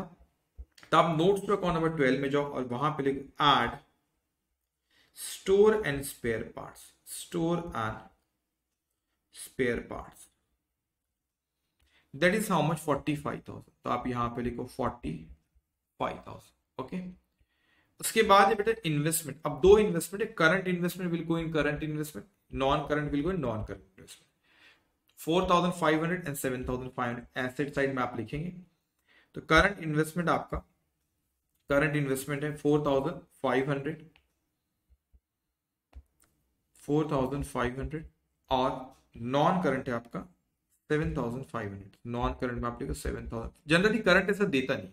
अब दे दिया तो अपन ने भी वहाँ पे लिखे उसको। ट्रेड रिसीवेबल में कोई एडजस्टमेंट नहीं, बड़ी अच्छी बात है। Two lakh thirty eight thousand five hundred so trade receivable में लिखूँगा two lakh thirty eight thousand five hundred then we have cash in bank तो कैश इन बैंक कहा जाएगा? ये आपका कैश एंड कैश इक्विवेलेंट में जाएगा। Okay two lakh seventy one thousand one hundred तो इसको two lakh seventy one thousand उसमें भी कोई एडजस्टमेंट नहीं। Two lakh seventy one thousand how much it is two lakh seventy one thousand one hundred okay okay जो जो adjustment आते होते मैं आपको बाद में रिवाइज कराता हूँ इसी दिन। लेकिन जब चैप्टर कंप्लीट होता है, इसके पूरे चैप्टर को फिर से रिवाइज करते हैं ओके उसके बाद बच्चों यहाँ पे क्रेडिट ये आपका रेवेन्यू फ्रॉम ऑपरेशन है that is seventeen lakh ten thousand P L account में लिखेंगे। Seventeen lakh ten thousand then we have interest ये आपकी इनकम है। मैंने क्यों कहा इनकम है बेटा? इसीलिए आपको कहा, इसमें एडजस्टमेंट तो बात अलग है। लेकिन क्योंकि क्रेडिट बैलेंस अगर इंटरेस्ट हम पे करे होते तो हमारा एक्सपेंस होता और डेबिट साइड में अपियर होता। ये हमारी क्या है हमारी? ये इनकम है। तो इससे थ्री थाउज़ेंड नाइन हंड्रेड आप लिखे। Write down there write down there okay, that is 3900 it is a part of other income so write down in other income मैं इसलिए चिल्ला रहा था, वो आवाज़ मेरे को लगा नहीं आ रही थी, इसलिए मैं माइक मतलब वर्क कर रहा है कि नहीं। ठीक है? Okay now write down this in other income so other income point number 11 में। इंटरेस्ट ओके आप ऐसे इनर कॉलम लिखो 3900 ओके उसमें एडजस्टमेंट ऐसा मैंने लिखा 3900 okay now profit and loss account का बैलेंस ये रिज़र्व एंड सरप्लस में जाएगा फोर्टी एट थाउज़ेंड तो आप देखो प्रॉफिट एंड लॉस अकाउंट में हमने यहाँ पे लिखे opening balance opening balance forty eight इस साल का प्रॉफिट तो भी कैलकुलेट हम करेंगे ओके अब यहाँ पे उसके बाद शेयर कैपिटल ये शेयर कैपिटल कुछ दिया ही नहीं उसने यहाँ पे. शेयर कैपिटल लिखे नंबर ऑफ़ शेयर कुछ भी नहीं लिखा। क्या लिखू मैं? लिख दो शेयर कैपिटल क्या करेंगे अपन? शेयर कैपिटल में जाओ लिख दो शेयर कैपिटल बस। ये क्या बात है? क्या करेंगे उसने? नहीं दिया कुछ भी ऐसा। थ्री लाख फिफ्टीन थाउज़ेंड कुछ नंबर ऑफ़ शेयर कुछ बोलना चाहिए ना ऑथोराइज सब्सक्राइब कुछ तो बोलो, कुछ नहीं कहा। ठीक है। ना उसके बाद अपने सिक्योर्ड लोन याद रखना, ये आपका शॉर्ट टर्म बोरोविंग में जाएगा और ये लॉन्ग टर्म बोरो अब इस एक एडजस्टमेंट इस पर इनर कॉलम में लेकिन बाद में अपन बात करेंगे। तो आप जाएँगे अपन शॉर्ट टर्म बोरोविंग आपकी कितनी? फोर थाउज़ेंड फाइव हंड्रेड आप नोट स्टॉक नंबर फोर्थ में लिखो। क्या नाम है भाई इसका? सिक्योर्ड लोन तो यहाँ पे आप लिखेंगे secured loan okay secured loan जो है आपका that is four thousand five hundred so write down here four thousand five hundred then long term borrowing seventy twenty one thousand sorry secured loan inner column में लिखना, क्योंकि उस पर adjustment है बेटा। ट्वेंटी वन थाउज़ेंड आप inner column में लिखना। आप बोलेंगे, क्यों? उस पर एडजस्टमेंट है ना? अपन बात करेंगे बात नाउ फिक्स डिपॉजिट ये एसेट है लाइबिलिटी लाइबिलिटी एसेट के डेबिट बैलेंस होते अगर हमने कहीं डिपॉजिट करे होते तो वो एसेट यहाँ पे अपियर होता। याद रखना, ये आपकी लाइबिलिटी बेटा क्रेडिट बैलेंस है। लाइबिलिटी के क्रेडिट बैलेंस होते। Unsecured fix deposit short term तो शॉर्ट टर्म लोन में लिखेंगे वन थाउज़ेंड फाइव हंड्रेड तो आप यहाँ लिखो unsecured fixed deposit. That is 1500 okay उसके बाद लॉन्ग टर्म 3300 तो यहाँ पे लिखेंगे अनसिक्योर्ड ओके फिक्स डिपॉजिट वो अमाउंट है आपका कितना? That is how much three thousand three hundred so write on three thousand three hundred long term में ओहो ओहो ओहो। पहले शॉर्ट टर्म दिया करेक्ट पहले शॉर्ट टर्म फिर लॉन्ग टर्म में दिया तो उल्टा हो गया, कोई बात नहीं। इसको यहाँ पे लेके आओ। मेरे पास तो ऑप्शन है, आप वहाँ पे कट कर देना। यहाँ पे लिखेंगे शॉर्ट टर्म नीचे ना, एक सेकेंड यहाँ पे लिखो वन थाउज़ेंड फाइव हंड्रेड और long term is three thousand three hundred three thousand three hundred ऊपर वो लिखो, ठीक है? ऊपर लॉन्ग टर्म है, फिर शॉर्ट टर्म है। वहाँ पहले शॉर्ट टर्म फिर लॉन्ग टर्म ठीक है डन लिखे आपने इतना। तो हमने बच्चों ट्रायल बैलेंस के सारे के सारे आइटम हम लोगों ने यहाँ पे लिख लिए। अच्छा ट्रेड पेबल एक हमारा three lakh twenty seven thousand तो आप इसे लिखेंगे three lakh twenty seven thousand three lakh trade payable balance sheet में यहाँ पे आप लिख देंगे three lakh twenty seven thousand done तो ट्रायल बैलेंस के सारे के सारे आइटम हम लोग ने यहाँ पे लिख लिए। अब अपने पास कितने एडजस्टमेंट बच्चों? सात एडजस्टमेंट है, सातों एडजस्टमेंट को करना अब ध्यान से सुनना मैं एंट्री भी बोलूँगा और किस तरीके से इफ़ेक्ट देना वो भी हम बात करेंगे अब देखो यहाँ पे कहते हैं फ्रॉम द वो balance balance and the following information prepare the company's profit and loss account for the year ended 31st March 2019 and the balance sheet uh, company's balance sheet as on that date inventory on 31st March 2019 raw material अब दो दो effect देना है बच्चे इसके दो दो effect देना अच्छे से समझेंगे अपन ठीक है मैं एंट्री पास करके आपको बता दू अब मैंने कहा दोनों के साथ में बता देता आपको ठीक है अब मैंने कहा स्टॉक अकाउंट डेबिट है ना? क्लोजिंग स्टॉक अकाउंट डेबिट या आपको इन्वेंट्री अकाउंट डेबिट ठीक है? इन्वेंट्री अकाउंट डेबिट टू अब दो तरह की इन्वेंट्री टू अब यहाँ पे ध्यान से रखना टू मैं अलग अलग बता दू, इसको अलग अलग ही बता दो तो कंफ्यूज ना हो जाओ फिर तो ठीक है? अलग अलग दो बताता हूँ। इन्वेंट्री अकाउंट डेबिट पहले रॉ मटेरियल की बोल रहा हूँ। Inventory account debit to profit and loss account लेकिन कहा जाएगा? Cost of material consume COMC okay cost of material consume वहाँ जाएगा, ठीक है? उसमें से कम करना अच्छा सर इससे क्या करेंगे? सेकेंड वाला जो आपका inventory account debit to profit and loss account ये कहा जाएगा चेंज इन इन्वेंट्री इसको ख्याल रखना बच्चे, ठीक है? तो एक आपका रॉ मटेरियल है और एक आपका फिनिश गुड्स है, ठीक है? अब इन्वेंट्री स्टॉक तो एसेट साइड में अपने दो इफ़ेक्ट देना अपने को। तो पहले अपन इन्वेंट्री एसेट साइड में लिख दिए raw material twenty five thousand और finish goods is sixty thousand ठीक है? तो एसेट है। दूसरा इफ़ेक्ट आपका, आपने, आपको आदत है, आपने पहले की ट्रेडिंग के क्रेडिट में लिखते थे। यार ट्रेडिंग के क्रेडिट में चेंज इन इन्वेंट्री में माइनस करते। और रॉ मटेरियल है तो कॉस्ट ऑफ़ मटेरियल कंज्यूम में से अपने को माइनस कॉस्ट ऑफ़ मटेरियल जो है उसमें से माइनस करते। तो फ़र्स्ट राइट ऑन इन्वेंट्री आप लिखोगे, जो आपने नोट्स अकाउंट इन्वेंट्री पे बनाए नोट्स अकाउंट नंबर एट तो आप लिखेंगे वहाँ पे first raw material raw material वो आपको दिया बच्चे यहाँ पे कितना? Twenty five thousand eight hundred twenty five thousand eight hundred फिर वहाँ पे दिए finish goods sixty thousand finish goods finish goods sixty thousand okay एक इफ़ेक्ट दी। एडजस्टमेंट अपने को कितनी इफ़ेक्ट देना? दो। अब दूसरा आपको बता कि कॉस्ट ऑफ़ मटेरियल कंज्यूम में जाएँगे। तो ये आपका कितना? Twenty five thousand eight hundred तो कॉस्ट ऑफ़ मटेरियल कंज्यूम आपका नोट स्टॉक नंबर ट्वेल्व वहाँ पे लिखेंगे लेस क्लोजिंग स्टॉक और कैन से closing inventory of raw material closing inventory of raw material that is how much? 25800 25800 okay ये एक इफ़ेक्ट दूसरा इफ़ेक्ट मतलब एक आपने एसेट और दूसरा यहाँ पे इसको माइनस की अब फिनिश गुड्स भी तो वो कहा जाता है चेंज इन इन्वेंट्री तो प्रॉफिट एंड लॉस अकाउंट में जाएँगे आप, और वहाँ पे आप लिखेंगे चेंज इन इन्वेंट्री में माइनस वो कितना अमाउंट है? सिक्सटी थाउज़ेंड तो यहाँ पर आप करेंगे सिक्सटी थाउज़ेंड तो forty six thousand five hundred minus sixty thousand negative figure आ रही आउटर कॉलम पर thirteen thousand five hundred okay पहला एडजस्टमेंट हो गया बच्चे यहाँ पे. अब आते हैं नेक्स्ट एडजस्टमेंट पे. नेक्स्ट एडजस्टमेंट उससे क्या है? आउटस्टैंडिंग एक्सपेंसेस तो ये ऐसा अपना पिछले क्वेश्चन में कुछ नया नहीं है। तो इसकी एंट्री पास होती है expense account debit outstanding expense तो यहाँ पे इफ़ेक्ट कहा देंगे मैन्युफैक्चरिंग इसलिए नया नहीं है। नए वाले की मैं आपको बताऊँगा अब आउटस्टैंडिंग एक्सपेंस मैन्युफैक्चरिंग एक्सपेंस तो मैन्युफैक्चरिंग एक्सपेंस की कोई हेडिंग होती है? नहीं। तो वो कहा जाएगा आपका? ये अदर एक्सपेंस में चले जाएगा एंड अदर करंट लाइबिलिटी में जाएगा। ठीक है? अब सैलरी एंड वेजेस की यहाँ पे एडजस्टमेंट हेडिंग होती है। यस एम्प्लॉय बेनिफिट एक्सपेंस में जाएगा। एंड अदर करंट लाइबिलिटी में जाएगा। ठीक है? अब आप लिखेंगे sixty seven thousand five hundred तो मैं मैन्युफैक्चरिंग एक्सपेंसेस मैंने यहाँ पे अदर एक्सपेंसेस पे लिख रखे होंगे अपन ने। यस उसमें आप ऐड कर देंगे। ये और है that is how much sixty seven thousand five hundred So 2 lakh 70 plus 67 500 that is coming 3 lakh 37,500 दूसरा इफ़ेक्ट मैं दूँगा उसका, ठीक है? डोंट वरी दूसरा इफ़ेक्ट अच्छा अभी अभी दे दो अदर करंट ऊपर क्या एम्प्लॉय का है तो साथ में अपन दे देते अब सैलरी और वेजेस भी outstanding that employ benefit expense sixty thousand तो यहाँ पर अब ऐड करो add sixty forty thousand two hundred plus sixty thousand that is how much one two ठीक है? ये आपने एक इफ़ेक्ट दिया बच्चों। ये एक्सपेंस का एक इफ़ेक्ट है अभी हमने लाइबिलिटी पे we have not yet paid it's a liability so कहाँ पे होगा? अदर करंट लाइबिलिटी में आएगा। तो अदर करंट लाइबिलिटी बच्चों आप लिखेंगे यहाँ पे। That is other current liability यहाँ पे।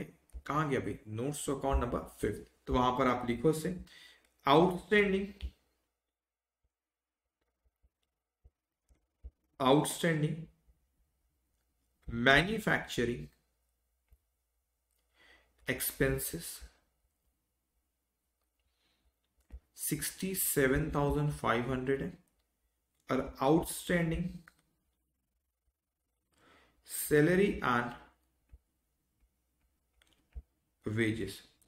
That is 4500 how much is 4500 okay अब उसके बाद हमसे कह रहा है बेटा इंटरेस्ट अक्रूड ऑन सिक्योरिटी अभी आपके लिए नई चीज़ है, ध्यान से समझ नई मतलब आपको सच बताओ कि नया आपके लिए कुछ है नहीं फाइनल अकाउंट आपने पहले भी पढ़। ये एंट्री सब पहले पढ़ अब इंटरेस्ट अक्रूड ऑन सिक्योरिटीज आपने इन्वेस्टमेंट कर उस पर अगर मुझे इंटरेस्ट मिल जाता तो मैं एंट्री पास करता। अभी लिखना मत, पहले सुना। एंट्री पास करता कैश और bank account debit to interest account ये एंट्री पास करता इनकम है। लेकिन अक्रूड हुआ, अभी तक रिसीव हुआ नहीं तो कैश और बैंक डेबिट नहीं हो सकता। तो यहाँ यहाँ पे डेबिट करेंगे अक्रूड इंटरेस्ट अकाउंट वो हमारी एसेट हो गया, पैसा आ जाता तो कैश और बैंक अकाउंट को डेबिट करता। लेकिन क्या पैसा आया है कि बच्चों? नहीं। तो किसे डेबिट करना हमें? Will debit accrued interest account. Accrued interest को क्या करेंगे अपन? डेबिट। तो यहाँ पर आप लिखेंगे, यहाँ पर आप लिखेंगे, यहाँ पर आप लिखेंगे that is how much accrued interest account debit interest अब ध्यान से समझना बेटे। अभी इंटरेस्ट ये तो मेरी अदर इनकम का हिस्सा है तो ओ आई लिख दिया अक्रूड इंटरेस्ट जो है आपका, वो आपकी एसेट है। तो ऐसी कोई हेडिंग होती है अक्रूड इंटरेस्ट नहीं। तो it will be part of other current asset why it will be part of other current asset बेटा? एक साल के अंदर आपको मिल जाएगा ना। अक्रू हो गया। तो मिल जाएगा three hundred okay that's why it is a part of other current asset तो क्या एंट्री पास की हम लोग ने यहाँ पे? That is accrued interest account debit to interest तो accrued interest is part of other current asset तो वहाँ पर हम इसको लिखेंगे. दैट इज़ हाउ मच 300 तो आप यहाँ पे अदर एसेट में इसको आप लिखो. अदर करंट एसेट में यहाँ पे लिखेंगे. ओके. कहा गया अदर करंट एसेट ये. Notes of number ten write down there accrued interest कितना अमाउंट है बच्चों थ्री हंड्रेड ये एक इफ़ेक्ट दूसरा इनकम तो आपने इनकम अदर इनकम बनाया, उसके नीचे ही वहाँ पर आप लिख लो plus three hundred okay outer column आएगा फोर थाउज़ेंड टू हंड्रेड ये समझा आपको थ्री हंड्रेड क्यों ऐड करें? ये आपका accrued we follow accrual system of accounting okay तो ये आपका अक्रूड इंटरेस्ट था। तो आप बोलेंगे पीरियड में कैसे आ गया? अरे we follow accrual system of accounting वो रिसीव्ड नहीं हुआ तो भी अक्रू हो गया तो हम उसको, लिखेंगे ओके तो दो इफ़ेक्ट हमने दे दिए इसकी अब उसके बाद डन इतना लिखा आपने बच्चों। अब मैं क्वेश्चन कंप्लीट कर तो फिर ब्रेक दूँगा आपको, ठीक है?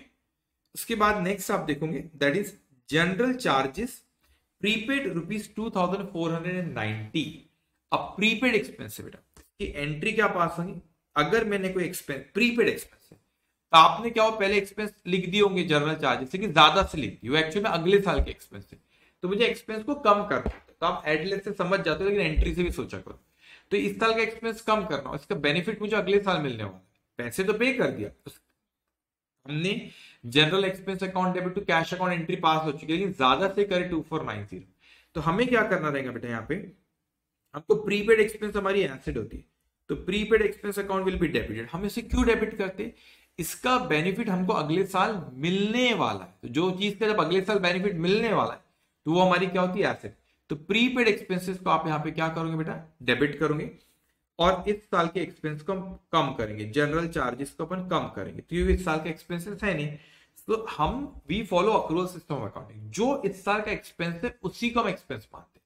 तो हमने 2490 से ज़्यादा से मान ली बच्चों 2490 से ज़्यादा से अपन ने यहाँ पे मान ली तो यहाँ पे ये प्रीपेड एक्सपेंसेस जो है, ये आपका एसेट साइड में अपियर होगा। अब कहा होगा मैं आपको बताता हूँ।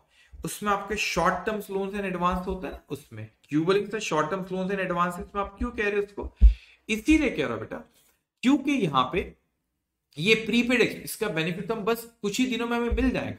तो एडवांस है ना प्रीपेड एडवांस में आपने जिसका बेनिफिट खुद ही कुछ ही दिन में। That fact is a part of short term loans and advance और जनरल चार्जेस को एक्सपेंसेस में से क्या करेंगे बच्चों? माइनस करेंगे। क्योंकि इस साल के एक्सपेंसेस है ही नहीं। हमने पे कर दिए तो जनरल चार्जेस को डेबिट कर दिए थे। अब वो इस साल का है नहीं टू फोर नाइन ज़ीरो तो हमको एक्सपेंस कम करना पड़ेगा, हमको बेनिफिट मिलने वाला है। तो ये हमारी क्या है बच्चों? एसेट है ओके तो अब इसके दो इफ़ेक्ट हमें यहाँ पे देना रहेगा टू फोर नाइन ज़ीरो को कैसे आप दो इफ़ेक्ट देंगे बच्चों यहाँ पे? इसके दो इफ़ेक्ट हमको यहाँ पे देना रहेगा। अब यहाँ पे पहला प्रीपेड एक्सपेंस आप यहाँ पे जाएँगे और यहाँ पर आप लिखो बैलेंस शीट में आप जाओगे और बैलेंस शीट में आप वहाँ पे लिखो। अच्छा अपने नोट्स तो अकाउंट इसका बनाए? ग्रेट तो नोट्स तो अकाउंट नंबर नाइन में चले जाओ ओके नोट्स तो अकाउंट नंबर नाइन में चले जाओ और वहाँ पे लिखो prepaid write down there prepaid general charges that is how much? 2490 okay, prepaid general charges that is how much? 2490 ये एक इफ़ेक्ट है बच्चों पर, ठीक है? अब दूसरा इफ़ेक्ट इस साल का एक्सपेंस है नहीं तो जनरल चार्जेस आपने यहाँ पे लिखा अदर एक्सपेंस उसमें से माइनस करोगे टू फोर नाइन ज़ीरो क्यों माइनस करे आपने? Sixteen thousand five hundred minus two four nine zero हमने इसे क्यों माइनस करे बच्चों? क्योंकि हमारा इस साल का एक्सपेंसेस ये नहीं है। ठीक है? अच्छा यहाँ पे आपने मैन्युफैक्चरिंग में क्यों इसे ऐड कर दे क्योंकि हमने पे नहीं करे, लेकिन हम ये लाइबिलिटी पे। तो हमने उसको पे करे नहीं थे लेकिन इस साल का खर्च है तो ऐड करे थे। ये हमने एडवांस में पे कर दिए टू फोर नाइन तो इसलिए अपन यहाँ पे क्या करें बच्चों? माइनस सबको समझ में आया यहाँ पे? एक प्रीपेड आउटस्टैंडिंग और क्वेश्चन ओके नाउ वापस आप आएँगे ट्रायल बैलेंस ने एडजस्टमेंट पे। अब फिफ्थ पॉइंट कहते हैं कि डेप्रिसिएशन बिल्डिंग पे चार्ज करने टू परसेंट तो आप पीपी वाले नोट्स अकाउंट में चले जाएँगे। नोट्स अकाउंट नंबर सेवन तो डेप्रिसिएशन बिल्डिंग पे चार्ज करना टू परसेंट मशीनरी पे टेन परसेंट मशीनरी पे टेन परसेंट फर्नीचर पे टेन परसेंट फर्नीचर पे टेन परसेंट मोटर व्हीकल पे ट्वेंटी परसेंट मोटर व्हीकल पे ट्वेंटी परसेंट ओके तो साथ में ये रेट लिखे अमाउंट भी निकाल लो one lakh one thousand multiply by two percent that is coming twenty twenty seventy thousand four hundred multiply by ten percent that is seven thousand forty then 10,200 multiplied by 10%, that is coming 1020. 40,800 multiplied by 20%, that is coming 8160. अब ये कहाँ जाएँगे बेटा? ये आपका depreciation आपने एक effect दिए कॉस्ट ऑफ़ पीपी को आपने कम कर दिए और दूसरा इफ़ेक्ट क्या होगा आपका? पीपी की कॉस्ट कम दूसरा इफ़ेक्ट क्या होगा आपका? ये प्रॉफिट एंड लॉस अकाउंट में जाएगा। इसकी टोटल करेंगे टू ज़ीरो टू ज़ीरो ये नया नहीं आपने पिछले क्वेश्चन में ऐसा किए हो ओके दैट इज़ कमिंग 18,240 तो आप एक इफ़ेक्ट क्या दी? पीपी की कॉस्ट कम हो जाएगी ठीक है? डब्ल्यू आएँगे कम होके आएँगे। दूसरा effect profit and loss account में लिखेंगे 18,000 या 250 तो प्रॉफिट एंड लॉस अकाउंट में जाओ और वहाँ पे लिखो 18,240 not 50 18,240 okay done next item अब उसके बाद हमसे कहता है बेटा अब current maturity of long term loan is one thousand इसमें कुछ नया नहीं, आपको पता है कि लॉन्ग टर्म बोरोइंग जो एक साल के अंदर मैच्योर होने वाला that is part of short term borrowing तो हमें क्या करना रहेगा? शॉर्ट टर्म बोरोइंग है तो हमें क्या करना रहेगा? लॉन्ग टर्म बोरोइंग से माइनस करना रहेगा उसे। तो यहाँ पे देखो twenty one thousand minus one thousand आप कर दो okay twenty one thousand minus one thousand उसको करेंगे। स्पेस है नहीं, ठीक है, मैं इनर कॉलम में लेकिन तो भी लिख दू। दैट इज़ करंट मैच्योरिटी सिर्फ़ इतना लिख लो। करंट मैच्योरिटी टू आएगा ट्वेंटी लेकिन दूसरा इफ़ेक्ट देना रहेगा आपको, अब it is a part of short term borrowing तो वहाँ पे लिखेंगे current maturity of long term borrowing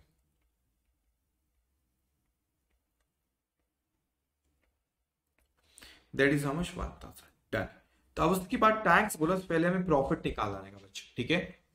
तो आप पहले नोट्स अकाउंट क्लोज करेंगे किसके? जो आपके प्रॉफिट एंड लॉस अकाउंट के। तो वो आपके कहाँ से? नोट्स अकाउंट इलेवन से। तो इलेवन में तो एक ही आइटम है फोर थाउज़ेंड टू हंड्रेड तो आप यहाँ पे लिखेंगे four thousand two hundred twelfth यहाँ पे। ट्वेल्थ आपसे क्या कह रहा है? ट्वेल्थ आपसे यहाँ पे कह रहा है ओके यहाँ पे ट्वेल्थ आपसे कहता है that is thirty thousand plus twelve lakh fifteen thousand plus forty five thousand minus twenty five thousand eight hundred तो दैट इज़ कमिंग हियर कितना आ रहा है आपका? Twelve lakh twelve lakh sixty four thousand two hundred. ये भी कर ही लो आप। Three lakh thirty seven five hundred plus fourteen thousand zero one zero that is coming three lakh fifty one thousand five hundred and ten okay three lakh fifty one thousand five hundred and ten okay done सब आपका ये twelve lakh sixty four thousand two hundred सब आप इसको लिखेंगे twelve lakh sixty four thousand two hundred okay twelve lakh sixty four thousand two hundred ये है नहीं purchase of stock in trade फिर आपका employ benefit one lakh two hundred तो यहाँ पे लिखा आप one lakh two hundred just give me a minute okay ये sixty thousand just give me a minute just give me a minute okay किसी ने एक मैसेज भी नहीं किया वहाँ पे. This is not okay okay this is basically मैंने गलती से ये सिक्सटी यहाँ से this four thousand five hundred four thousand five hundred लिखो। Forty thousand two hundred plus four thousand five hundred that is coming forty four thousand seven hundred okay correction करेंगे। Other current liability यहाँ बराबर लिखा मैंने। यहाँ बराबर लिखा four thousand five hundred चलो, ठीक है। एनीवेज तो ये आप लिखेंगे forty four thousand seven hundred okay so here forty four thousand seven hundred आपका ये आ गया ओके देन उसके बाद आपका three lakh fifty one thousand five hundred and ten तो three lakh fifty one thousand five hundred and ten अब क्या बोल रहे पहले बोलना था ठीक है, डन। अब आप यहाँ पे income seventeen lakh ten thousand plus four thousand two hundred that is coming seventeen lakh fourteen thousand two hundred twelve lakh sixty four thousand two hundred minus thirteen thousand five hundred plus forty four thousand seven hundred plus plus forty four thousand seven hundred plus eighteen thousand two forty three lakh fifty one thousand five hundred and ten that is coming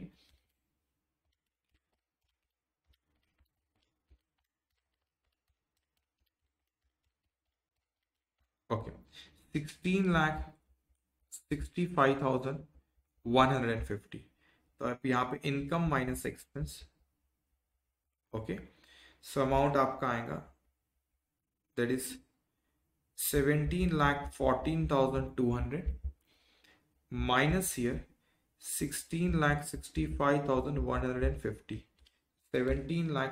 thousand two hundred minus sixteen lakh sixty five thousand one hundred fifty that is coming 49,050 provision for tax को कहा उसने 40 percent इसका 40 percent हम लेंगे that is going to come 19,620 okay ये एक effect हुआ तो इसे हम कहा लिखते बच्चों? प्रोविज़न फॉर टैक्स में। तो profit and profit and loss account should be debited to provision for tax provision for tax how much 19,620 बेटा ओके तो इसको अभी लिख लो आप शॉर्ट टर्म प्रोविज़न में।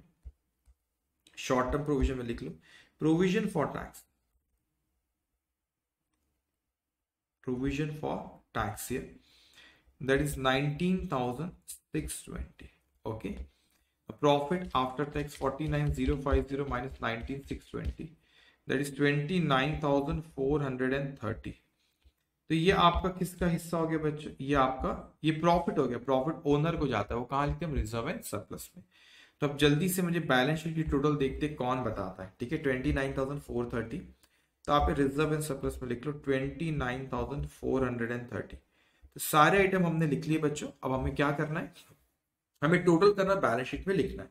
सो वन बाय वन सबसे पहला आपका शेयर कैपिटल में तो कुछ है ही नहीं आपका तो right it down three lakh fifteen thousand as it is three lakh fifteen thousand then we have Omkar कह रहे हैं eight lakh fourteen thousand three fifty let's see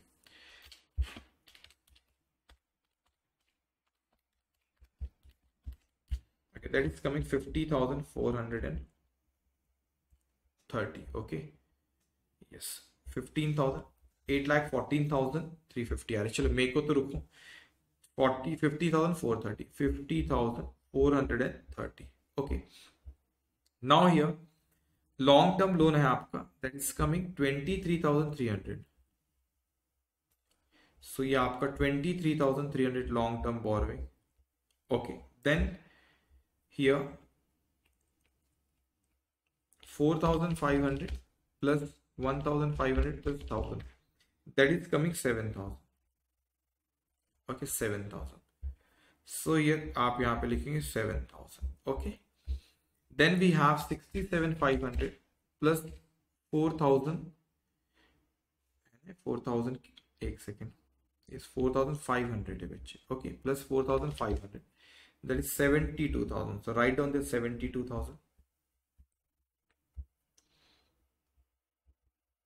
okay short term provision ak amount that is 19620 19620 okay.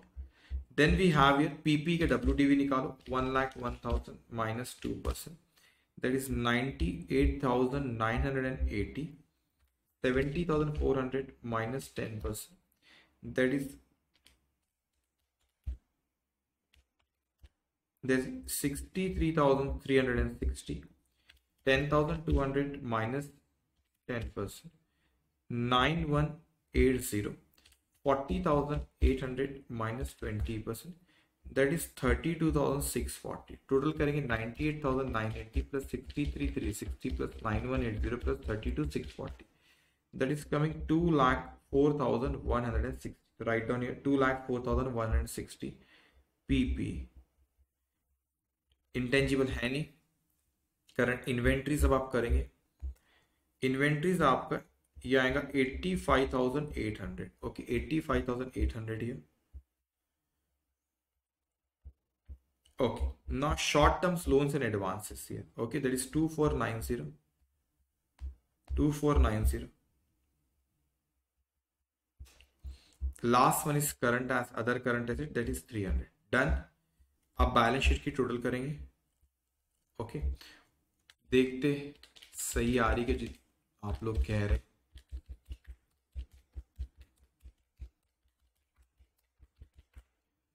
eight lakh fourteen thousand three fifty yes okay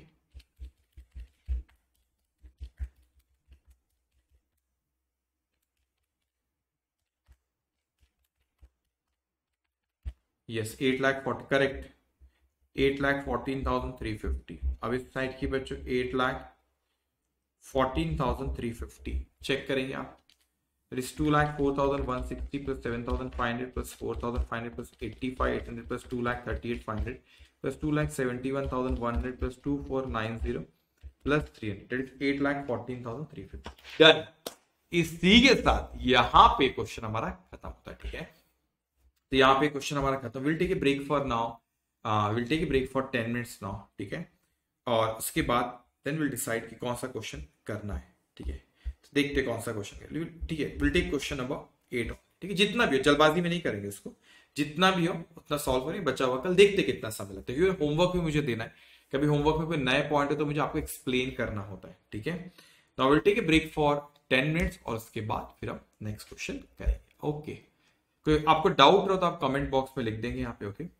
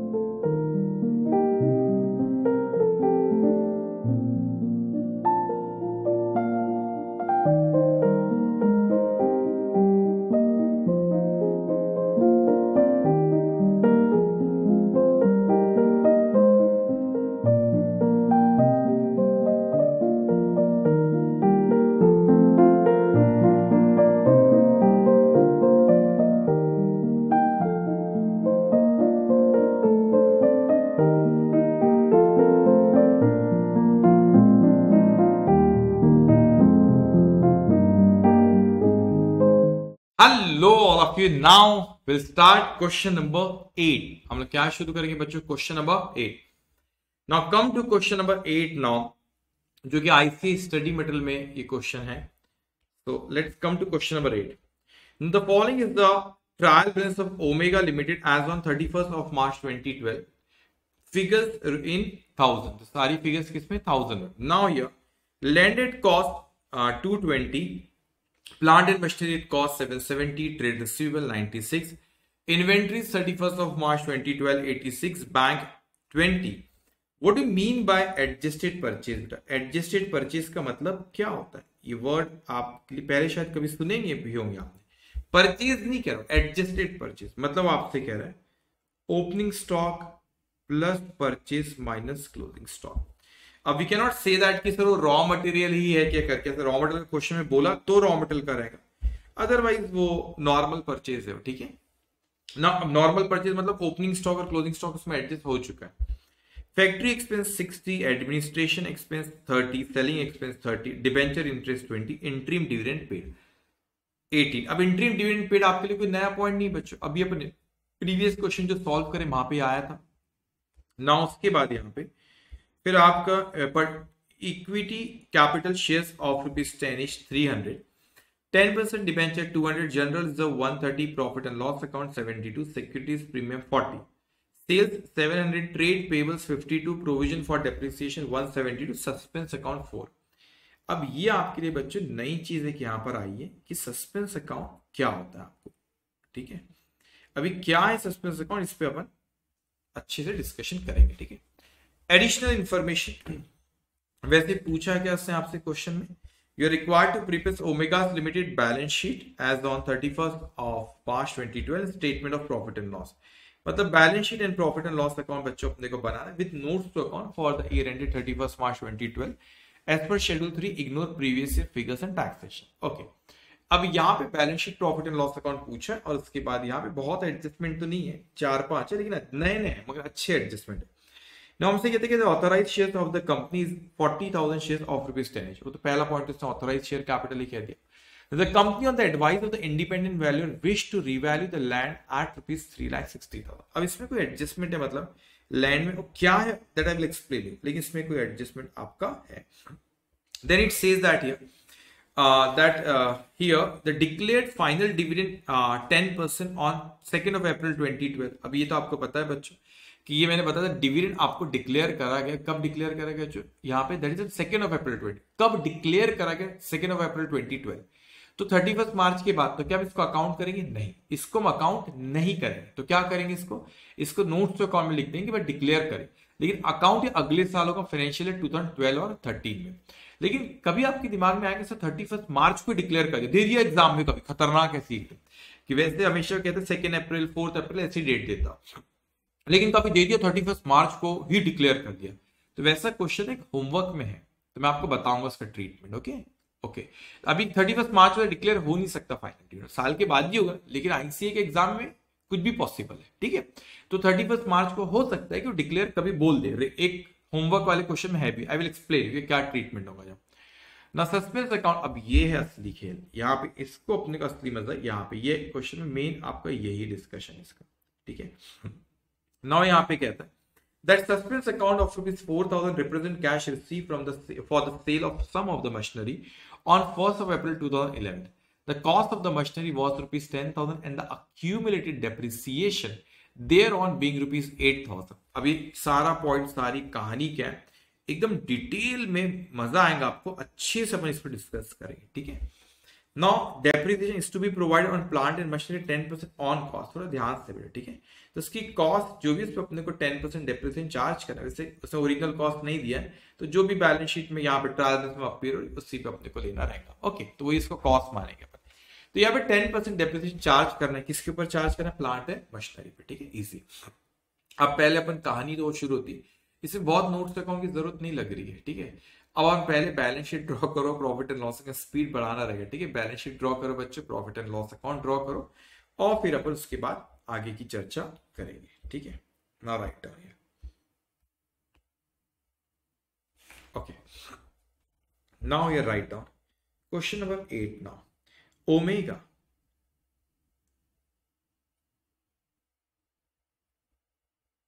limited part one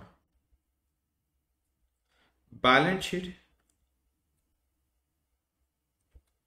as on 31st of March 2012 rupees in thousand rupees in thousand ठीक है figures अब इसको यहाँ पे आप draw कर लेंगे अच्छे से, एक पेज का आप ड्रॉ करो।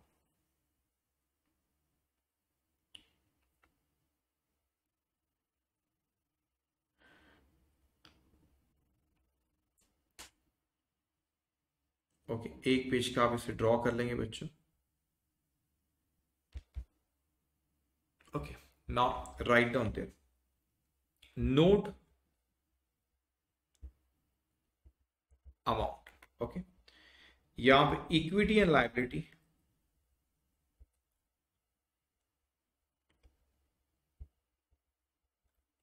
ओके वहाँ पर आपने share holders fund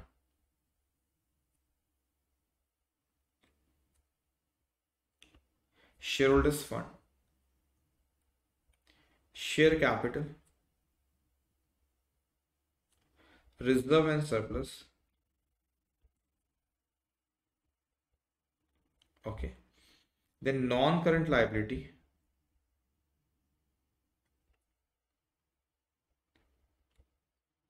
इसमें डिबेंचर है write on long term borrowing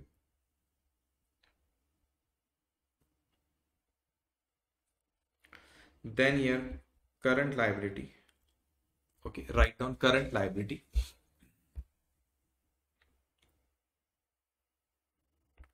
current liability में हम चार पॉइंट लिखते A B C D short term borrowing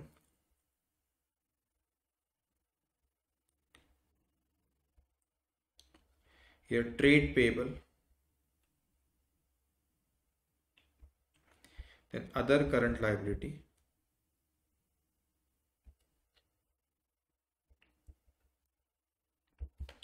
then a short term provision.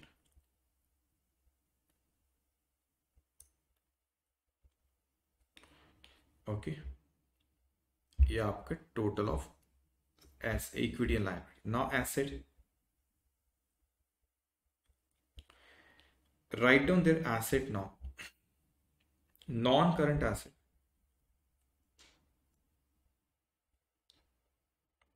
non current asset उसमें तीन पॉइंट आएँगे। Property plant and equipment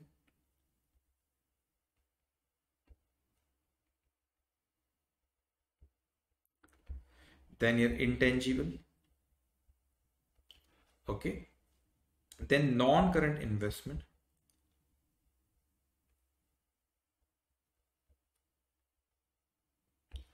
then current asset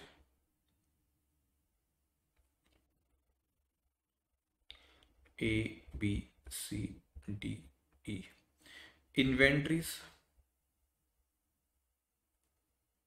trade receivable, short uh, cash and cash equivalent, cash and cash equivalent, short term. Loan and advances other current asset. Other current asset. ये total okay अब notes जो account बच्चे जब बनाएँगे तो इसमें ज़्यादा ज़रूरत ही नहीं है कुछ है ही नहीं। पहले share capital reserve and surplus debenture तो बोरोविंग्स पे कर लो।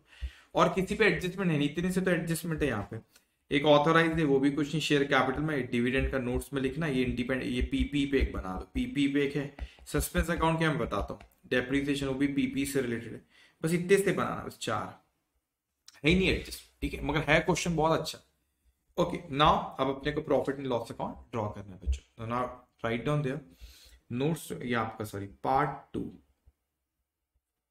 statement of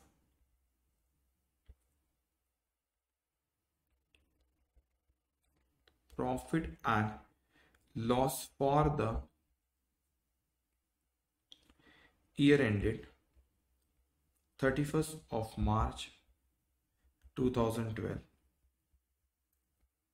rupees in thousand okay इसे आप ड्रॉ करेंगे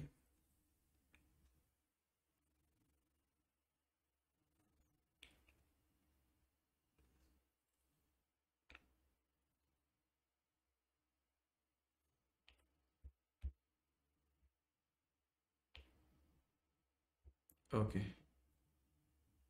Now note here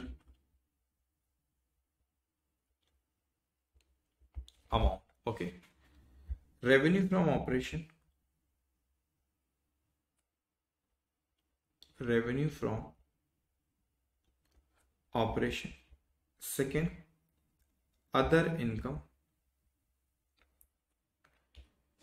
Total here that is total revenue.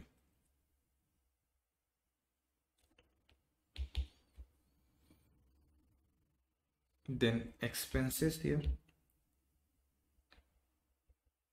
Expenses. One two three four five six seven. So cost of material consumed अब इस question में एक problem है अपन चाह कर भी नहीं लिख सकते उसको। मैं बताऊँगा क्या? उसमें छह ही पॉइंट लिखना है सात नहीं, मैं आपको बताऊँगा क्या? I will tell you just write it down here purchase अब इसमें क्या है कि इस क्वेश्चन में ओपनिंग और क्लोजिंग स्टॉक दिया नहीं उसने। एडजस्टेड परचेज दिया so we can not write it down change in inventory what is this change in inventory opening minus closing तो ऑलरेडी परचेज के फिगर में एडजस्टेड है। तो अपन चाह कर भी लिख नहीं सकते ओके okay? तो पता ही नहीं अपने को, ठीक है? तो आप इसीलिए वैसा ही। मतलब ओपनिंग स्टॉक यहाँ पे इवन तो क्लोजिंग स्टॉक उसने कहीं दिया भी होगा। ये जो हाँ अच्छा देखो, इसीलिए इन्वेंट्री यहाँ पे जो क्लोजिंग है, मैं आई विल एक्सप्लेन यू क्या हुआ है। आपने ऑलरेडी एंट्री पास हो चुकी है। आई विल एक्सप्लेन यू क्या है। बस आप परचेज एडजस्टेड इस तरह लिखो। चेंज इन इन्वेंट्री चाहकर भी नहीं लिख सकते I will explain you just write it on your employee benefit expense employee benefit expenses, then finance cost now depreciation and amortization. Then here other expenses. Now here total expenses here.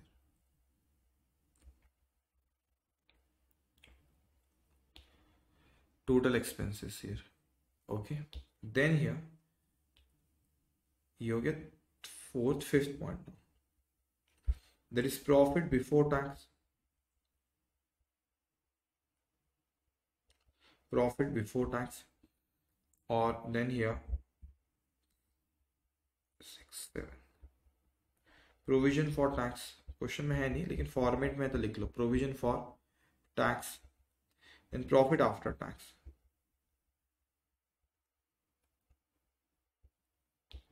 Okay, profit after tax. Done. Draw किए। अब कुछ item है नहीं ऐसे। Simple adjustment कुछ है नहीं। तो इसलिए ना चेंज इन इन्वेंट्री भी नहीं है वो raw cost of material consume भी नहीं है इसमें एडजस्टेड परचेज दे दिया। क्यों चेंज इन इन्वेंट्री नहीं क्यों adjusted purchase I will explain you तो एक ही नोट्स पे अकाउंट बना लो सिर्फ़ अदर एक्सपेंसेस पे बस फिफ्थ यहाँ पे चार बना और एक पाँच बस। ठीक है? तो देखो इसलिए ना ऐसे फिक्स नहीं होता कि इतने नोट्स को बनाना ही अपने को नहीं। वो तो डिपेंड करता है क्वेश्चन पे ठीक है? अब यहाँ पे आप लिखेंगे notes to account notes to account okay notes to account write down there first share capital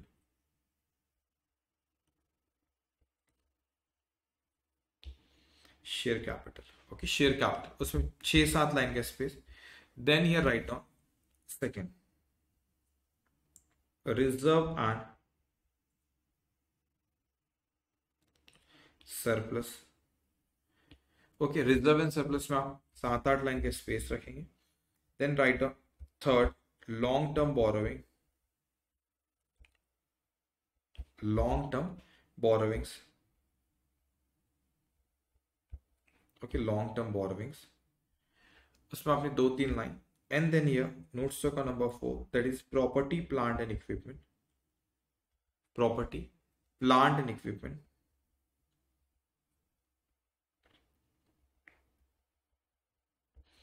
property plan and इसमें अच्छा खासा स्पेस रखना आपको, सात आठ लाइन कुछ adjustment I will explain you सात आठ line and then write it down there other expenses fifth one is other expense. Other expenses. Okay? Done. लिखिए आपने इतना बच्चों इतना लिखे आपने? ठीक है। अब ध्यान से इतना लिख लिए अब देखो, यहाँ पे हमने बैलेंस शीट ड्रॉ करे प्रॉफिट एंड लॉस अकाउंट और सारे जो भी इससे नोट्स अकाउंट ड्रॉ करता हमने ड्रॉ कर ली। अब एक एक आइटम अपन यहाँ पे लिखते जाएँगे ट्रायल बैलेंस सबसे पहले आपको लैंडेड कॉस्ट ये कहा जाएगा आपका? प्रॉपर्टी प्लांट एंड इक्विपमेंट बच्चों दैट इज़ टू ट्वेंटी तो पीपी में जाएँगे आप, और वहाँ पर आप लिखिए इसमें थोड़ा अलग तरीके से लिखना आई विल एक्सप्लेन क्यों क्योंकि बहुत सारे एडजस्टमेंट है। तो जैसे मैं लिख रहा हूँ, जैसे किस तरीके से बताएँगे आप? First item is land at cost इसके दो कॉलम होता इनर और ये आउटर, ठीक है?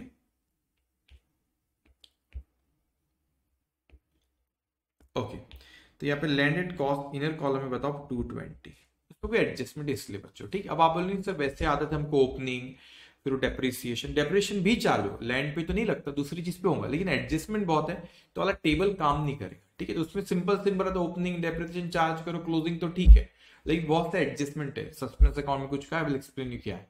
तो इसीलिए अपने इस तरीके से बनाना है ओके ना उसके बाद हमसे यहाँ पे क्या था? ये आपने लिखे first plant and machinery at cost seven seventy तो यहाँ पर एक दो लाइन के, दो तीन लाइन का स्पेस देता नहीं तो ठीक है? Plant and machinery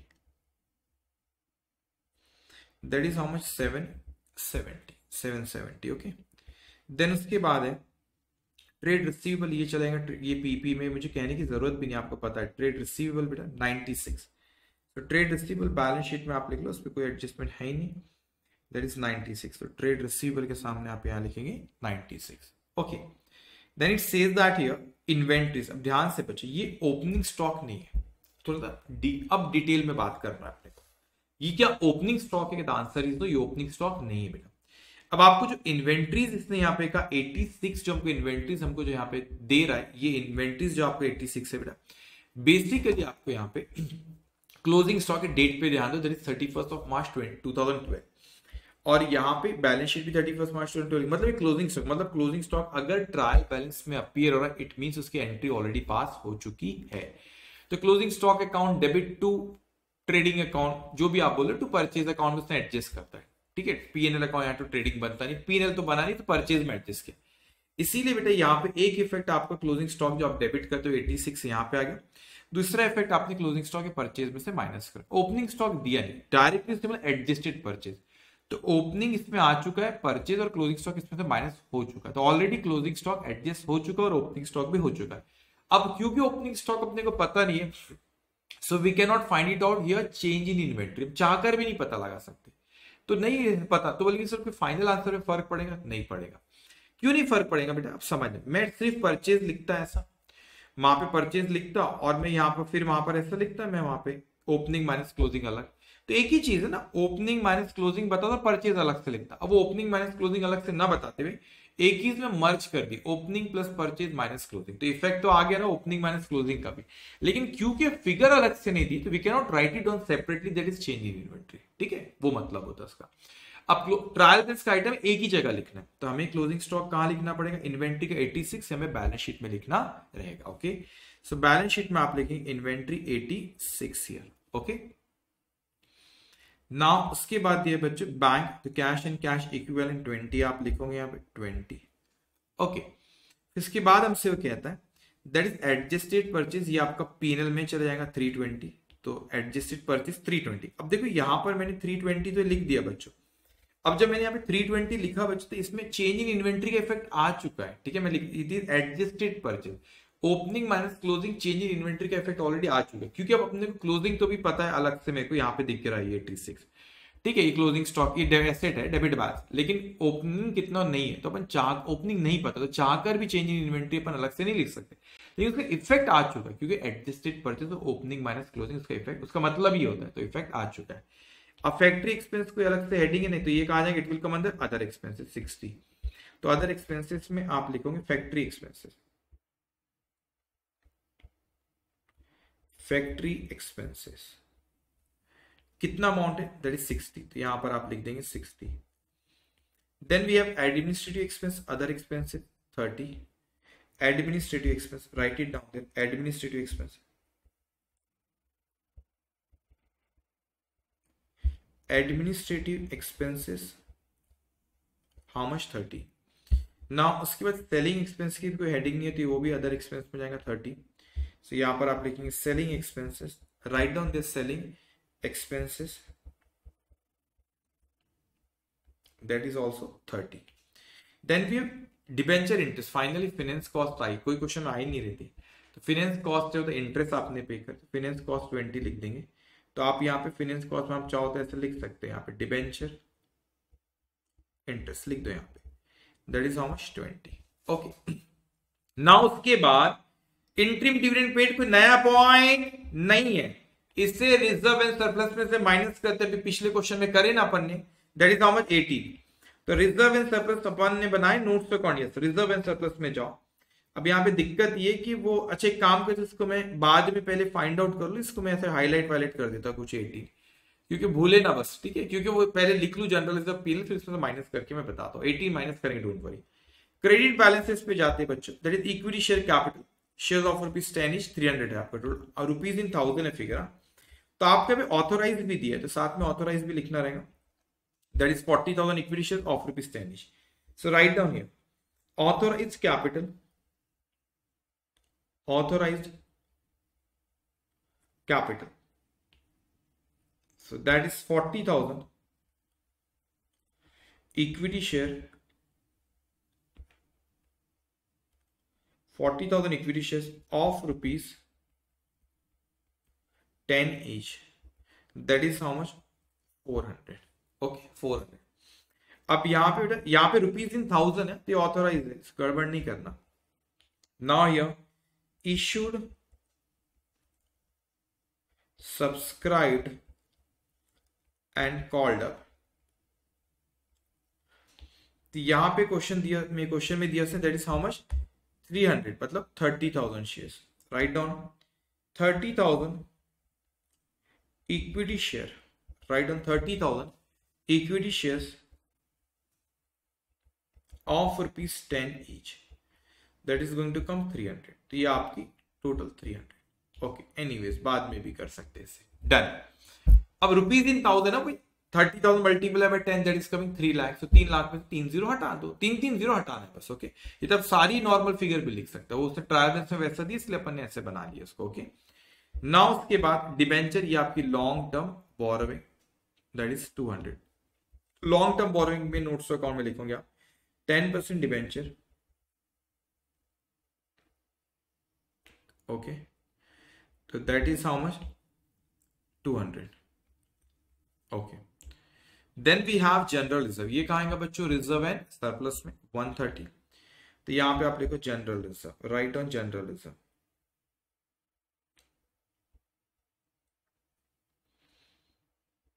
ठीक है, कुछ ये इसमें कोई एडजस्टमेंट नहीं है तो इसका आउटर कॉलम पे लिखो 130 then we have here profit and loss 72 so यहाँ पे profit and loss opening balance opening balance कितना दिए बच्चों? Profit and loss that is how much 72 write it down there 72 this is the profit of the last year profit till the last year profit for the current year we are going to calculate profit for the current year so what we are going to do here will add here this profit for the period profit for the year वो आएँगे अभी अभी पता नहीं अपने को। अभी dividend लिख दो। वो डिविडेंड दिया आपने अठारह, उसको लिख दो। लेस ठीक है लेस डिविडेंड पेड कितना डिविडेंड पे कर? 18 माइनस होंगे एटीन डिविडेंड दिए अपन ने ओके डन अब उसके बाद आगे बच्चों।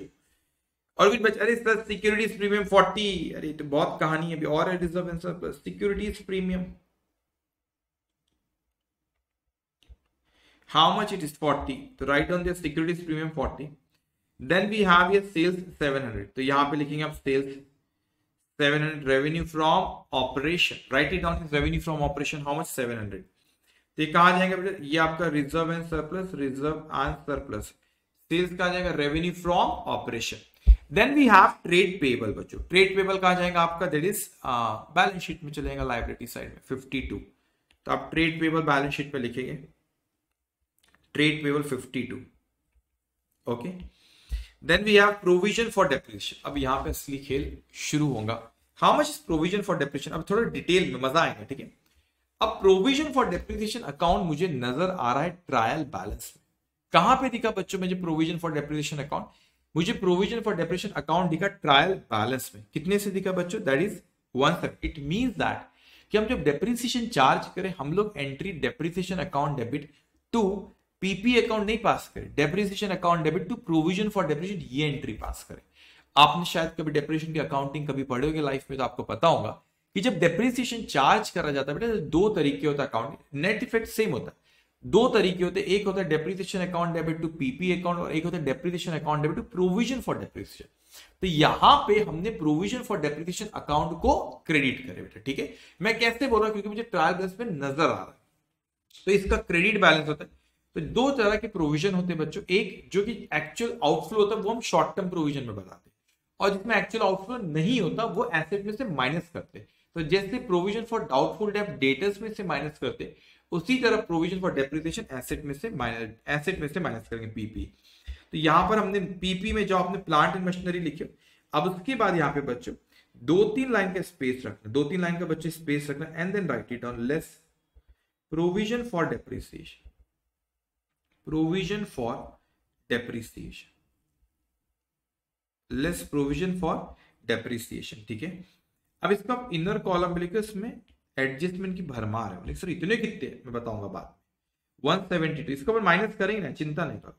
ये अपन वन सेवेंटी टू वो माइनस होगा आगे, अपन बात करेंगे। तो आपने प्रोविज़न फॉर डेप्रेशन क्या करते इसमें से। अच्छा तो इसमें नहीं करेंगे लैंड में? अरे भाई लैंड पे डेप्रेशन लगता ही नहीं तो ये उसमें से माइनस होंगे अलग कैटेगरी होगी, इसमें रीवैल्यू करने बोला ठीक है? ओके यहाँ पे inner column one seventy two अब सस्पेंस अकाउंट क्या है इस पे ना कुछ डिस्कशन होने वाला है। तो ये कहते रफली आप अपने क्वेश्चन बैंक जो आपकी बुक है, उसी में एक सस्पेंस अकाउंट बनाओ। यहाँ पे बनाओ सस्पेंस अकाउंट अरे बनाओ। कहाँ पे? कौन सा बैलेंस है? क्रेडिट बैलेंस है। तो मैं यहाँ पे लिख लेता हूँ बैलेंस करके। ठीक है बैलेंस जो मेरे को ट्रायल बैलेंस में दे रखा है। बस ऐसा फोर लिख के छोड़ दो। तो अपने सारे आइटम लिख लिया डिविडेंड भी लिख लिया था मैंने एंट्री सिवाय सस्पेंस अकाउंट अभी कहीं पर भी फाइनेंशियल स्टेटमेंट में नहीं लिखा और अपन ने क्या करे बच्चों उसको कहीं पर भी फाइनेंशियल स्टेटमेंट उसको अपन ने नहीं लिखे। सिर्फ़ क्या लिखे? बैलेंस लिख दिए फोर जो नज़र आ रहा है क्रेडिट बैलेंस है, क्योंकि वो ट्रायल बैलेंस में क्रेडिट बैलेंस कॉलम है। अब क्या है, क्या नहीं, अपन सस्पेंस अकाउंट का एडजस्टमेंट या डिटेल में उसको डिस्कस करो, वहाँ पे अपन उसके बारे में बात करेंगे। अब यहाँ पे हमसे कहता है next is the company on the advice of the independent value क्या company on the advice of the independent value that वो चाह रहे कि wish to revalue the land at rupees three lakh sixty अब इस चीज़ को समझो बेटा। मैंने कहा लैंड किस कीमत पे अपियर हो रही है मेरे ट्रायल बैलेंस में? मेरे ट्रायल बैलेंस में वो अपियर हो रही है बेटा कितने पे? टू ट्वेंटी पे। अब जो चीज़ टू ट्वेंटी पे अपियर हो रही है, उससे वो वैल्यू करने के लिए कह रहे थ्री सिक्सटी एक अकाउंटिंग स्टैंडर्ड टेन हम लोग आगे चल के पढ़ेंगे। प्रॉपर्टी प्लान एंड इक्विपमेंट वहाँ पे रिवैल्यूशन आपको सिखाऊँगा। लेकिन आपने समझना जो एसेट मेरी 220 की उसको रिवैल्यू 360 पे करने के लिए क्या है? जो बुक में, कितने में लिखी है? ये बुक में लिखी हुई है मेरी बुक वैल्यू है 220 और फेयर वैल्यू मार्केट में उसकी कितनी कीमत है बेटा? उसकी 360 तो मुझे 220 से बढ़ के 360 पे जाना है तो उनका डिफरेंस निकल दैट इज़ कमिंग 140 तो 140 से मेरे को लैंड की कॉस्ट को लैंड की वैल्यू को बढ़ाना है। अब मैंने कहा लैंड की वैल्यू को बढ़ा तो दूँगा मैं। लेकिन what entry we are going to pass तो हम, मैं कहूँगा यहाँ पे, क्या एंट्री इसकी पास होगी? तो मैंने कहा उसकी एंट्री जब हम पास करते तो लैंड एक asset increase in asset should be debited तो मैंने कहा इट शुड बी डेबिटेड तो मैंने कहा यहाँ पे land account should be debited कितने से बढ़ रहा है? 140 ये 140 कैसे कैलकुलेट किया बच्चों? वो बढ़ रही है 220 से बढ़ के 360 हो रही है. मैंने कहा कितने से? 220 से बढ़ के कितनी हो रही बच्चों?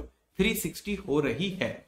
अब यहाँ पे 220 से बढ़ के 360 हुई तो 140 से बढ़ रही। तो मैंने लैंड अकाउंट डेबिट के इंक्रीज इन एसेट लेकिन बच्चों, मैं यहाँ पे कहता टू मैं क्या करूँ? बिकॉज़ सेकेंड इफ़ेक्ट तो कुछ ना कुछ यहाँ पे देना रहेगा। अगर मैं पैसे देता, अगर मैं पैसे देता तो मैं यहाँ पे क्या लिखता? अगर मैं यहाँ पे पैसे देता तो टू कैश और बैंक अकाउंट करता। लेकिन क्या मैंने बच्चों यहाँ पे पैसे दिया हूँ? आंसर इज़ नो तो मैंने कहा एसेट की वैल्यू 220 से बढ़ के 360 हुई 140 से बड़ी है। Increase in asset should be debited तो हमने क्या करे? लैंड अकाउंट को हमने क्या करे बच्चों यहाँ पे? डेबिट करे। कितने से डेबिट करे? हमने यहाँ पे लैंड अकाउंट को डेबिट करे बाय 140 तो 140 से वो डेबिट हुआ। लेकिन सेकेंड इफ़ेक्ट जब मैं यहाँ पे दे रहा हूँ तो सेकेंड इफ़ेक्ट मुझे किसमें देना पड़ेगा यहाँ पे? That should be given to we can not give to cash in bank account क्योंकि हमने पैसा नहीं दिया उसको। वैल्यू बढ़ा है ज़रूर है, क्योंकि मार्केट वैल्यू ज़्यादा एस टेन में भी एस टेन में मेन अपन पढ़ने वाले। लेकिन तो फिर क्या क्रेडिट किसको करूँ? तो एक रिज़र्व होता है, उसे कहते हैं रिवैल्यूएशन रिज़र्व तो बेसिकली एस टेन में सिखाया जाता है। रिवैल्यूएशन रिज़र्व तो आप वहाँ पे लिखो land account should be debited by 140 and revaluation reserve account should be credited by 140 we cannot credit to cash and bank account because we are not paying any amount for it. तो हम इसके लिए कोई payment यहाँ पे पे नहीं कर रहे बेटा। ठीक है? तो आप इसको इफ़ेक्ट अपने को क्या देना रहेगा कि लैंड की वैल्यू को 140 से हम लोग यहाँ पे बढ़ाएँगे और revaluation reserve will be part of reserve and surplus तो नाम से ही पता चला रिज़र्व एंड सरप्लस का पार्ट है। ओके, तब आप जाएँगे बच्चों और यहाँ पे लिखेंगे, यहाँ पे आपने एंट्री जो मैं लिखता हूँ आप लिख लिया करो, ठीक है? जो मैं लिखता हूँ आप उसको लिख लिया करो। लिखिए आपने इतना land account debit revaluation reserve so ये लैंड अकाउंट को हम क्या करेंगे बेटा? अपन उसमें ऐड करेंगे तो जाएँगे आप लैंड देखो आपने पीपी में तो पीपी में आपको वहाँ पे लैंडेड कॉस्ट दिख रहा है, उसमें लिखो आप एड अपवर्ड रिवैल्यूएशन इसे क्या कहते हैं? जब वैल्यू का बढ़ा रहे एक और रिवैल्यूशन है तो इसे हम डाउनवर्ड रिवैल्यूशन कहते हैं। तो हम पढ़ेंगे एज टेन में। अभी अपने को नहीं पढ़ा इससे हम कहते हैं अपवर्ड रिवैल्यूशन तो आप वहाँ पे लिखो अपवर्ड रिवैल्यूएशन तो हम उसको वन हम उसको एक्चुअल में कैलकुलेशन 360 पे करना चाहते हैं 220 है। हाँ रुपीज़ इन थाउज़ेंड है, ख्याल रखना। तो outer column it will come 360 okay अब एक इफ़ेक्ट दी हमने। क्या एंट्री पास करें हमने। We pass entry land account debit to revaluation surplus account तो एक इफ़ेक्ट है land account now second effect is revaluation surplus so revaluation surplus is a part of reserve and surplus so write down here revaluation revaluation reserve account और reserve account okay तो आपका 360 minus 3 uh, 220 how much it is that is coming how much 140 write down here 140 okay done लिखा आपने इतना बेटा? 140 तो ये दो इफ़ेक्ट इसके हो गए ओके लिखा आपने इतना ओके अब इसके बाद वाला जो पॉइंट है आपका that is point number C वो क्या कहता है बच्चों आपको? पॉइंट नंबर सी हमसे कहता है यहाँ पे कि that declare final dividend at the rate what ten percent on second of April तो ये आपको एक चीज़ पता है कि जब आपको सेकेंड ऑफ़ अप्रैल को बोल रहा है, अगर सेकेंड ऑफ़ अप्रैल को बोल रहा है, इसका मतलब यहाँ पे, उसके ऊपर आपको कोई भी इसके अकाउंटिंग हम इस साल नहीं होगा। अब सेकेंड ऑफ़ अप्रैल को इसको नेक्स्ट ईयर हम इसको अकाउंट करेंगे। नेक्स्ट ईयर इसको अपन क्या करेंगे? अकाउंट करेंगे। लेकिन इस तरह से नोट्स अकाउंट में बताएँगे ओके ओके अब नोट्स अकाउंट में इसको बताना है। क्योंकि सेकेंड ऑफ़ अप्रैल को करे बेटा? थर्टी ऑफ़ मार्च के पहले करता थर्टी मार्च के पहले का डिविडेंड अगर डिक्लेयर करा जाता तो यहाँ पे हम उसको शो करते ठीक है? पूरा क्वेश्चन आज नहीं हो पाएगा, क्योंकि सस्पेंस अकाउंट बहुत डिटेल में बात कर रहा है। तो मैं कल कराऊँगा। पॉइंट नंबर सी में आपको अभी बच्चों करा देता हूँ। और पॉइंट नंबर सी कराए बाद मैं क्या करता हूँ आपको एक्सप्लेन पॉइंट नंबर सी कराए बाद आपको जो होमवर्क अगर कुछ रहेंगे तो वो मैं आपको एक्सप्लेन कर देता हूँ ओके तो यहाँ पे ये डी अपन कल करेंगे, ठीक है? सी पे अपन इसको फुल स्टॉप लगाएँगे। तो एक काम करो सी आपने यहाँ पे बच्चों लिखे अदर एक्सप्लेन उसके बाद एक नोट लिखना होता है। तो वहाँ पे आप नोट लिख लो, जो हमेशा लिखते हैं अपन। So write down one note here final dividend write down here बच्चों final dividend declared after the balance sheet date but before financial statement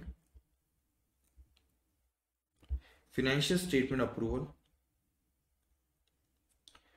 are not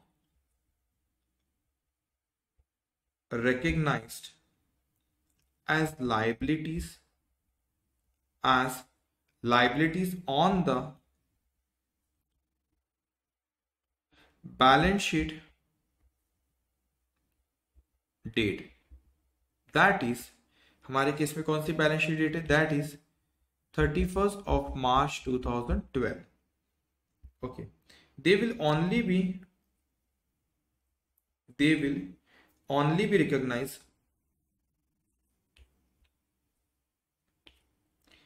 they will only be recognized recognized when approval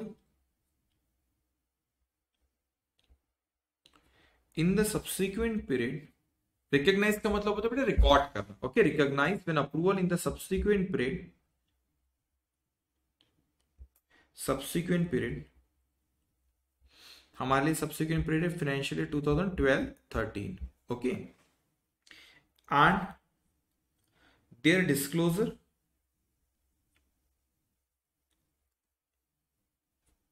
will be made in the notes to account notes to account for the current year. Current year कौन सा आपका? 2011-12 as per accounting standards accounting standard done यह question में लिखते हैं जब भी वाला पॉइंट आता है बेटा ओके अब मैं आपकी नॉलेज के लिए कहता चलो टाइम है अपने पास। बारह मिनट है, सुनो मेरी बात। अगर कभी आपको कह दिया क्वेश्चन लिखो यहाँ पे ये ना आपको होमवर्क वाले क्वेश्चन में भी कभी आएगा एक हाथ कहीं पे है मुझे जो ध्यान में। अगर कभी क्वेश्चन में बाई चांस आईसीआई ने बोला, नहीं नहीं नहीं थर्टी फ़र्स्ट मार्च को डिक्लेयर करे। वो बोल सकता है आईसीआई कुछ भी कर सकता है। तो उसने कहा, अगर इफ़ सपोज़ इफ़ लिखो आप if suppose if suppose declared on thirty first of March और बिफोर ठीक है, उसके पहले डिक्लेयर करा। तो आपको बोला कि उसकी एंट्री पास एंट्री पास करी हुई तो बात अलग है ट्रायल बेस में अपियर हो जाएगा। अब बोला पास करोगे। पास करा नहीं है, लेकिन अगर सपोज़ डिक्लेयर कर दिए तो पास नहीं करता dividend account should be debited to dividend payable account to dividend payable account तो बच्चों डिविडेंड पेएबल जो होगा और डिविडेंड इसको कैसे अपन शो करें? डिविडेंड आपको पता है, फिर इंट्रीम डिविडेंड हो या कोई भी हो deduct from deduct in reserve and surplus reserve and surplus में बच्चों माइनस करा जाएगा। और dividend will payable will be part of other current liability ठीक है? अगर कभी आपको बोला ऐसा कि थर्टी फ़र्स्ट मार्च को डिक्लेयर कर, फिर एंट्री पास करना पड़ेगा, ठीक है? Dividend account debit to dividend payable तो डिविडेंड रिज़र्व एंड सरप्लस में माइनस कर dividend payable will appear other current liability लेकिन जितने भी हम क्वेश्चन कर रहे हैं दैट इज़ वो अप्रैल मंथ में डिक्लेयर कर एस से कहता है। तो इसलिए सिर्फ़ ये नोट आपको हमेशा लिखना है, ठीक है नोट आपको। और ये मैं डेट आपके रेफरेंस के लिए लिखता हूँ। आपने नोट में डेट नहीं लिखे तो भी चलता है, लेकिन आपने, मैं आपके रेफरेंस के लिए लेकिन डेट भी लिखता हूँ फाइनेंशियल ईयर सब्सिक्वेंट ईयर की डेट डाल देता हूँ ब्रैकेट में, ठीक है। तो आपने ख्याल रखना कभी ऐसा अगर आ गया चांसेस कम, आ गया तो आपने को पता रहना चाहिए क्या ट्रीटमेंट उसका देना है बच्चों, ठीक है। अब यहाँ पे आपको जो आज का होमवर्क रहेगा, ठीक है, ये ना, ये मैं जल्दबाजी में डी पॉइंट में बहुत डिटेल में डिस्कस कर रहा है, ठीक है? तो उसको अच्छे से आराम से आपको एक्सप्लेन करो, जल्दबाजी नहीं करना उसमें, ठीक है? अब यहाँ पे बच्चों, जो आप लोगों को क्वेश्चन नंबर आपके जो होमवर्क आज के तो आज के मैंने लिख रखा था आपको क्या होमवर्क मुझे देना है, ठीक है? तो आज जो आपको होमवर्क देना है मुझे, मैंने लिख रखा था, एक second just give me one minute okay तो आज का जो होमवर्क है आप लोग का क्वेश्चन नंबर सिक्सटीन आपका होमवर्क है बेटा, ठीक है? क्वेश्चन नंबर सिक्सटीन आज आपका होमवर्क है। अब क्वेश्चन नंबर सिक्सटीन में आपको एक चीज़ ख्याल रखें जो नई चीज़ आएँगी आपको। एडजस्टमेंट बहुत दिख रहे हैं, लेकिन कुछ भी नया नहीं। जो एडजस्टमेंट हमने अभी तक करे, वही एडजस्टमेंट उसमें है, ठीक है? कुछ भी नया उसमें नहीं, बस एक चीज़ ख्याल रखना। मैंने यहाँ पे कुछ स्टार यहाँ पे हाईलाइट करके रखा एक चीज़ वो, यहाँ पे उसने कहा यहाँ पे उसने कैलकुलेशन और डेप्रिसिएशन यहाँ पे उसने अक्यूमुलेटेड डेप्रिसिएशन क्वेश्चन में उसने अपने से कैसे दिया? अगर आप देखोगे क्वेश्चन में sixteen page number twenty one पे जाओ, ठीक है? वहाँ पे आप देखो उसने हमको यहाँ पे एसेट्स की यहाँ पे लिस्ट दे रखा है, ये एसेट दे रखा है और ये एसेट दे रखा है और क्वेश्चन में प्रोविज़न फॉर डेप्रिसिएशन अकाउंट भी दे रखा है, ठीक है? ध्यान से अपने मेरी बात समझना बेटा। तो प्रोविज़न फॉर डेप्रिसिएशन अकाउंट भी, इसका मतलब जब भी वो डेप्रिसिएशन चार्ज कर रहा है, अब भी बताया जो क्वेश्चन कर रहा था? वो depreciation account debit to provision for depreciation account ये एंट्री पास कर रहे हैं। तो आप पीपी यहाँ पर क्या होगा? ये उसकी कॉस्ट है ये उसका अक्यूमुलेटेड डेप्रिसिएशन अभी तक के। तो आप देखोगे इस वर्किंग नोट में यहाँ पे, ये ओरिजिनल कॉस्ट लिखी है बच्चों, और ये अक्यूमुलेटेड डेप्रिसिएशन लिखा था ये डब्ल्यू डी आ गई। अब ये डब्ल्यू डीवी अब डेप्रिसिएशन किस पे बोला उसने? आपको क्वेश्चन में हमेशा डब्ल्यू डीवी देता है। तो हमने जो भी क्वेश्चन आज करे ओपनिंग बैलेंस पे this is opening balance for us ठीक है, ये हमारा मगर उसने क्यू की provision for depreciation account maintain करा बेटे। तो यहाँ पे उसने ये ये फिगर डायरेक्टली नहीं दी हुई है। उसने provision for depreciation account maintain करा तो हमको कैलकुलेट करना पड़ेगा ये ओरिजिनल कॉस्ट थी अक्यूमुलेट था और ये डब्ल्यू डीबी थी। ये ओपनिंग बैलेंस जो आज की जो क्वेश्चन करे, जैसे उसमें आया। अब यहाँ पे क्वेश्चन जो दो क्वेश्चन हमने करे आज पूरे ओके अब उसने कही हमको डेप्रिसिएशन चार्ज करने बोला उसने। अब जब डेप्रिसिएशन चार्ज करने में रिटर्न डाउन वाले पे बोला। तो आपको यहाँ पे गलती नहीं करना, आपने रिटर्न डाउन वैल्यू मतलब इसके ऊपर डेप्रिसिएशन बोलते ये डेप्रिसिएशन जो है, इस पे चार्ज होगा, जो भी रेट आप रेट भी लिख सकते हो। यहाँ पे एक और कॉलम रेट का। और इस पे डेप्रिसिएशन आपको चाहिए। और जो अमाउंट ऑफ़ डेप्रिसिएशन है it will go to profit and loss account ये पीनल अकाउंट में आपका जाएगा। ये एक ना इसमें प्रोविज़न फॉर डाउटफुल डेप का भी पॉइंट है बेड डेप भी है कि ये मत करो एक सेकंड रुको। वो पॉइंट मैंने बड़ा, बताया नहीं। एक पॉइंट अभी आने का मतलब। वो वाला पॉइंट होगा तो नहीं करना। रुको एक सेकंड हम्म। मत करो अभी से सर क्यों? ऐसा क्यों? ये डाउट ये five percent of provision for doubtful Depp यहाँ पे पहले से है क्या? हाँ इसको मत करो अभी। कल दूँगा बच गए बोले। कल दूँगा होमवर्क ऐसा एडजस्टमेंट एक क्वेश्चन में कराने वाला हूँ। कल आएगा क्वेश्चन अभी मत करो इसको। कल बात करें। चलो, बच गए बोले। सिक्सटीन तो नहीं करना है सर। रुको रुको रुको। बताता हूँ ना मैं। सेवनटीन करना है तो। सेवनटीन बहुत सिंपल है। बस इतने ख्याल रखना बेटा। सेवनटीन जो आपका, आज एक ही होमवर्क है आपका। ट्वेंटी फाइव पेज नंबर पे, ठीक है? एक ही चीज़ ख्याल रखना आपको, उसमें ना आपको प्रिलिमिनरी एक्सपेंसेस करके ऐसे दिख रहा है उसमें। मैंने हाईलाइट और कंज्यूमेबल तो ये ना आपको प्रॉफिट एंड लॉस अकाउंट भी बनाना है। बैलेंस शीट नहीं कि आप बैलेंस शीट बनाते थे क्वेश्चन में बोला था कि प्रीमियम एक्सपेंसिव को आप एडजस्ट कर लो अगे तो रिज़र्व ऐसा नहीं। तो कुछ बोला नहीं है। तो premium expense will be part of other expense और consumable will also be part of other expense तो कुछ नाम, कुछ स्पेसिफिक हेडिंग नहीं है तो it is going to other expense तो बस ये। तो एक ही होमवर्क दे रहा that is question number seventy तो ठीक है, मैं यहाँ पे लिख देता हूँ। एक ही होमवर्क है तो कर लोगे अब आप? Homework question number seventeen okay तो क्वेश्चन नंबर सेवेंटीन आपको करना ये आज का आपका होमवर्क है ठीक है? तो आज के सेशन हम लोग यहाँ पे खत्म करते पढ़ाई आप करते रहो, क्योंकि कुछ ही महीनों की बात है, कुछ महीनों के बाद हमको सीए फाइनल का स्टूडेंट कहलाना ठीक है? तो इतना दिमाग में रखो। तो कुछ महीने बाद सीए फाइनल के स्टूडेंट अगर अपने को कहलाना है तो उसके लिए मेहनत करना रहेगा बच्चों। तो बहुत ही डेडिकेट होके पढ़ो, क्योंकि समय वापस नहीं आएगा। जो आपके पेरेंट्स आपको बोलते हैं ना कि पढ़ो पढ़ो, ये समय वापस एकदम सही कहते हैं आपसे। कि हर चीज़ वापस आएँगे, लेकिन समय वापस नहीं आता। तो अभी समय आपका पढ़ने का। कुछ भी आप लीनियंट नहीं होना कि ये नहीं पढ़ रहे, एकदम फोकस रहना कुछ महीनों की बात है। एक बार एग्ज़ाम अच्छे से हो गए, फिर तुमने घूमने चले पंद्रह बीस दिन के लिए चले जाना कहीं पे। मतलब घर वाले नहीं जाने देंगे वो बात अलग है। लेकिन फिर उसके बाद जो करना है करो। लेकिन अभी वक्त है पढ़ने का, समय वापस नहीं आएगा बेटे। अपने को ये अटेम्प्ट में सी अटेम्प्ट देखिए, बस अगली बार नहीं, इसकी अटेम्प्ट दिए बस सीधा सीए फाइनल के स्टूडेंट के नाम ठीक है? सो एक ही होमवर्क है, अच्छे से करना जो भी क्लास में पढ़ा, उसको एक बार गो करना और क्वेश्चन सेवेंटीन आपको करना। है that is for today take care of you bye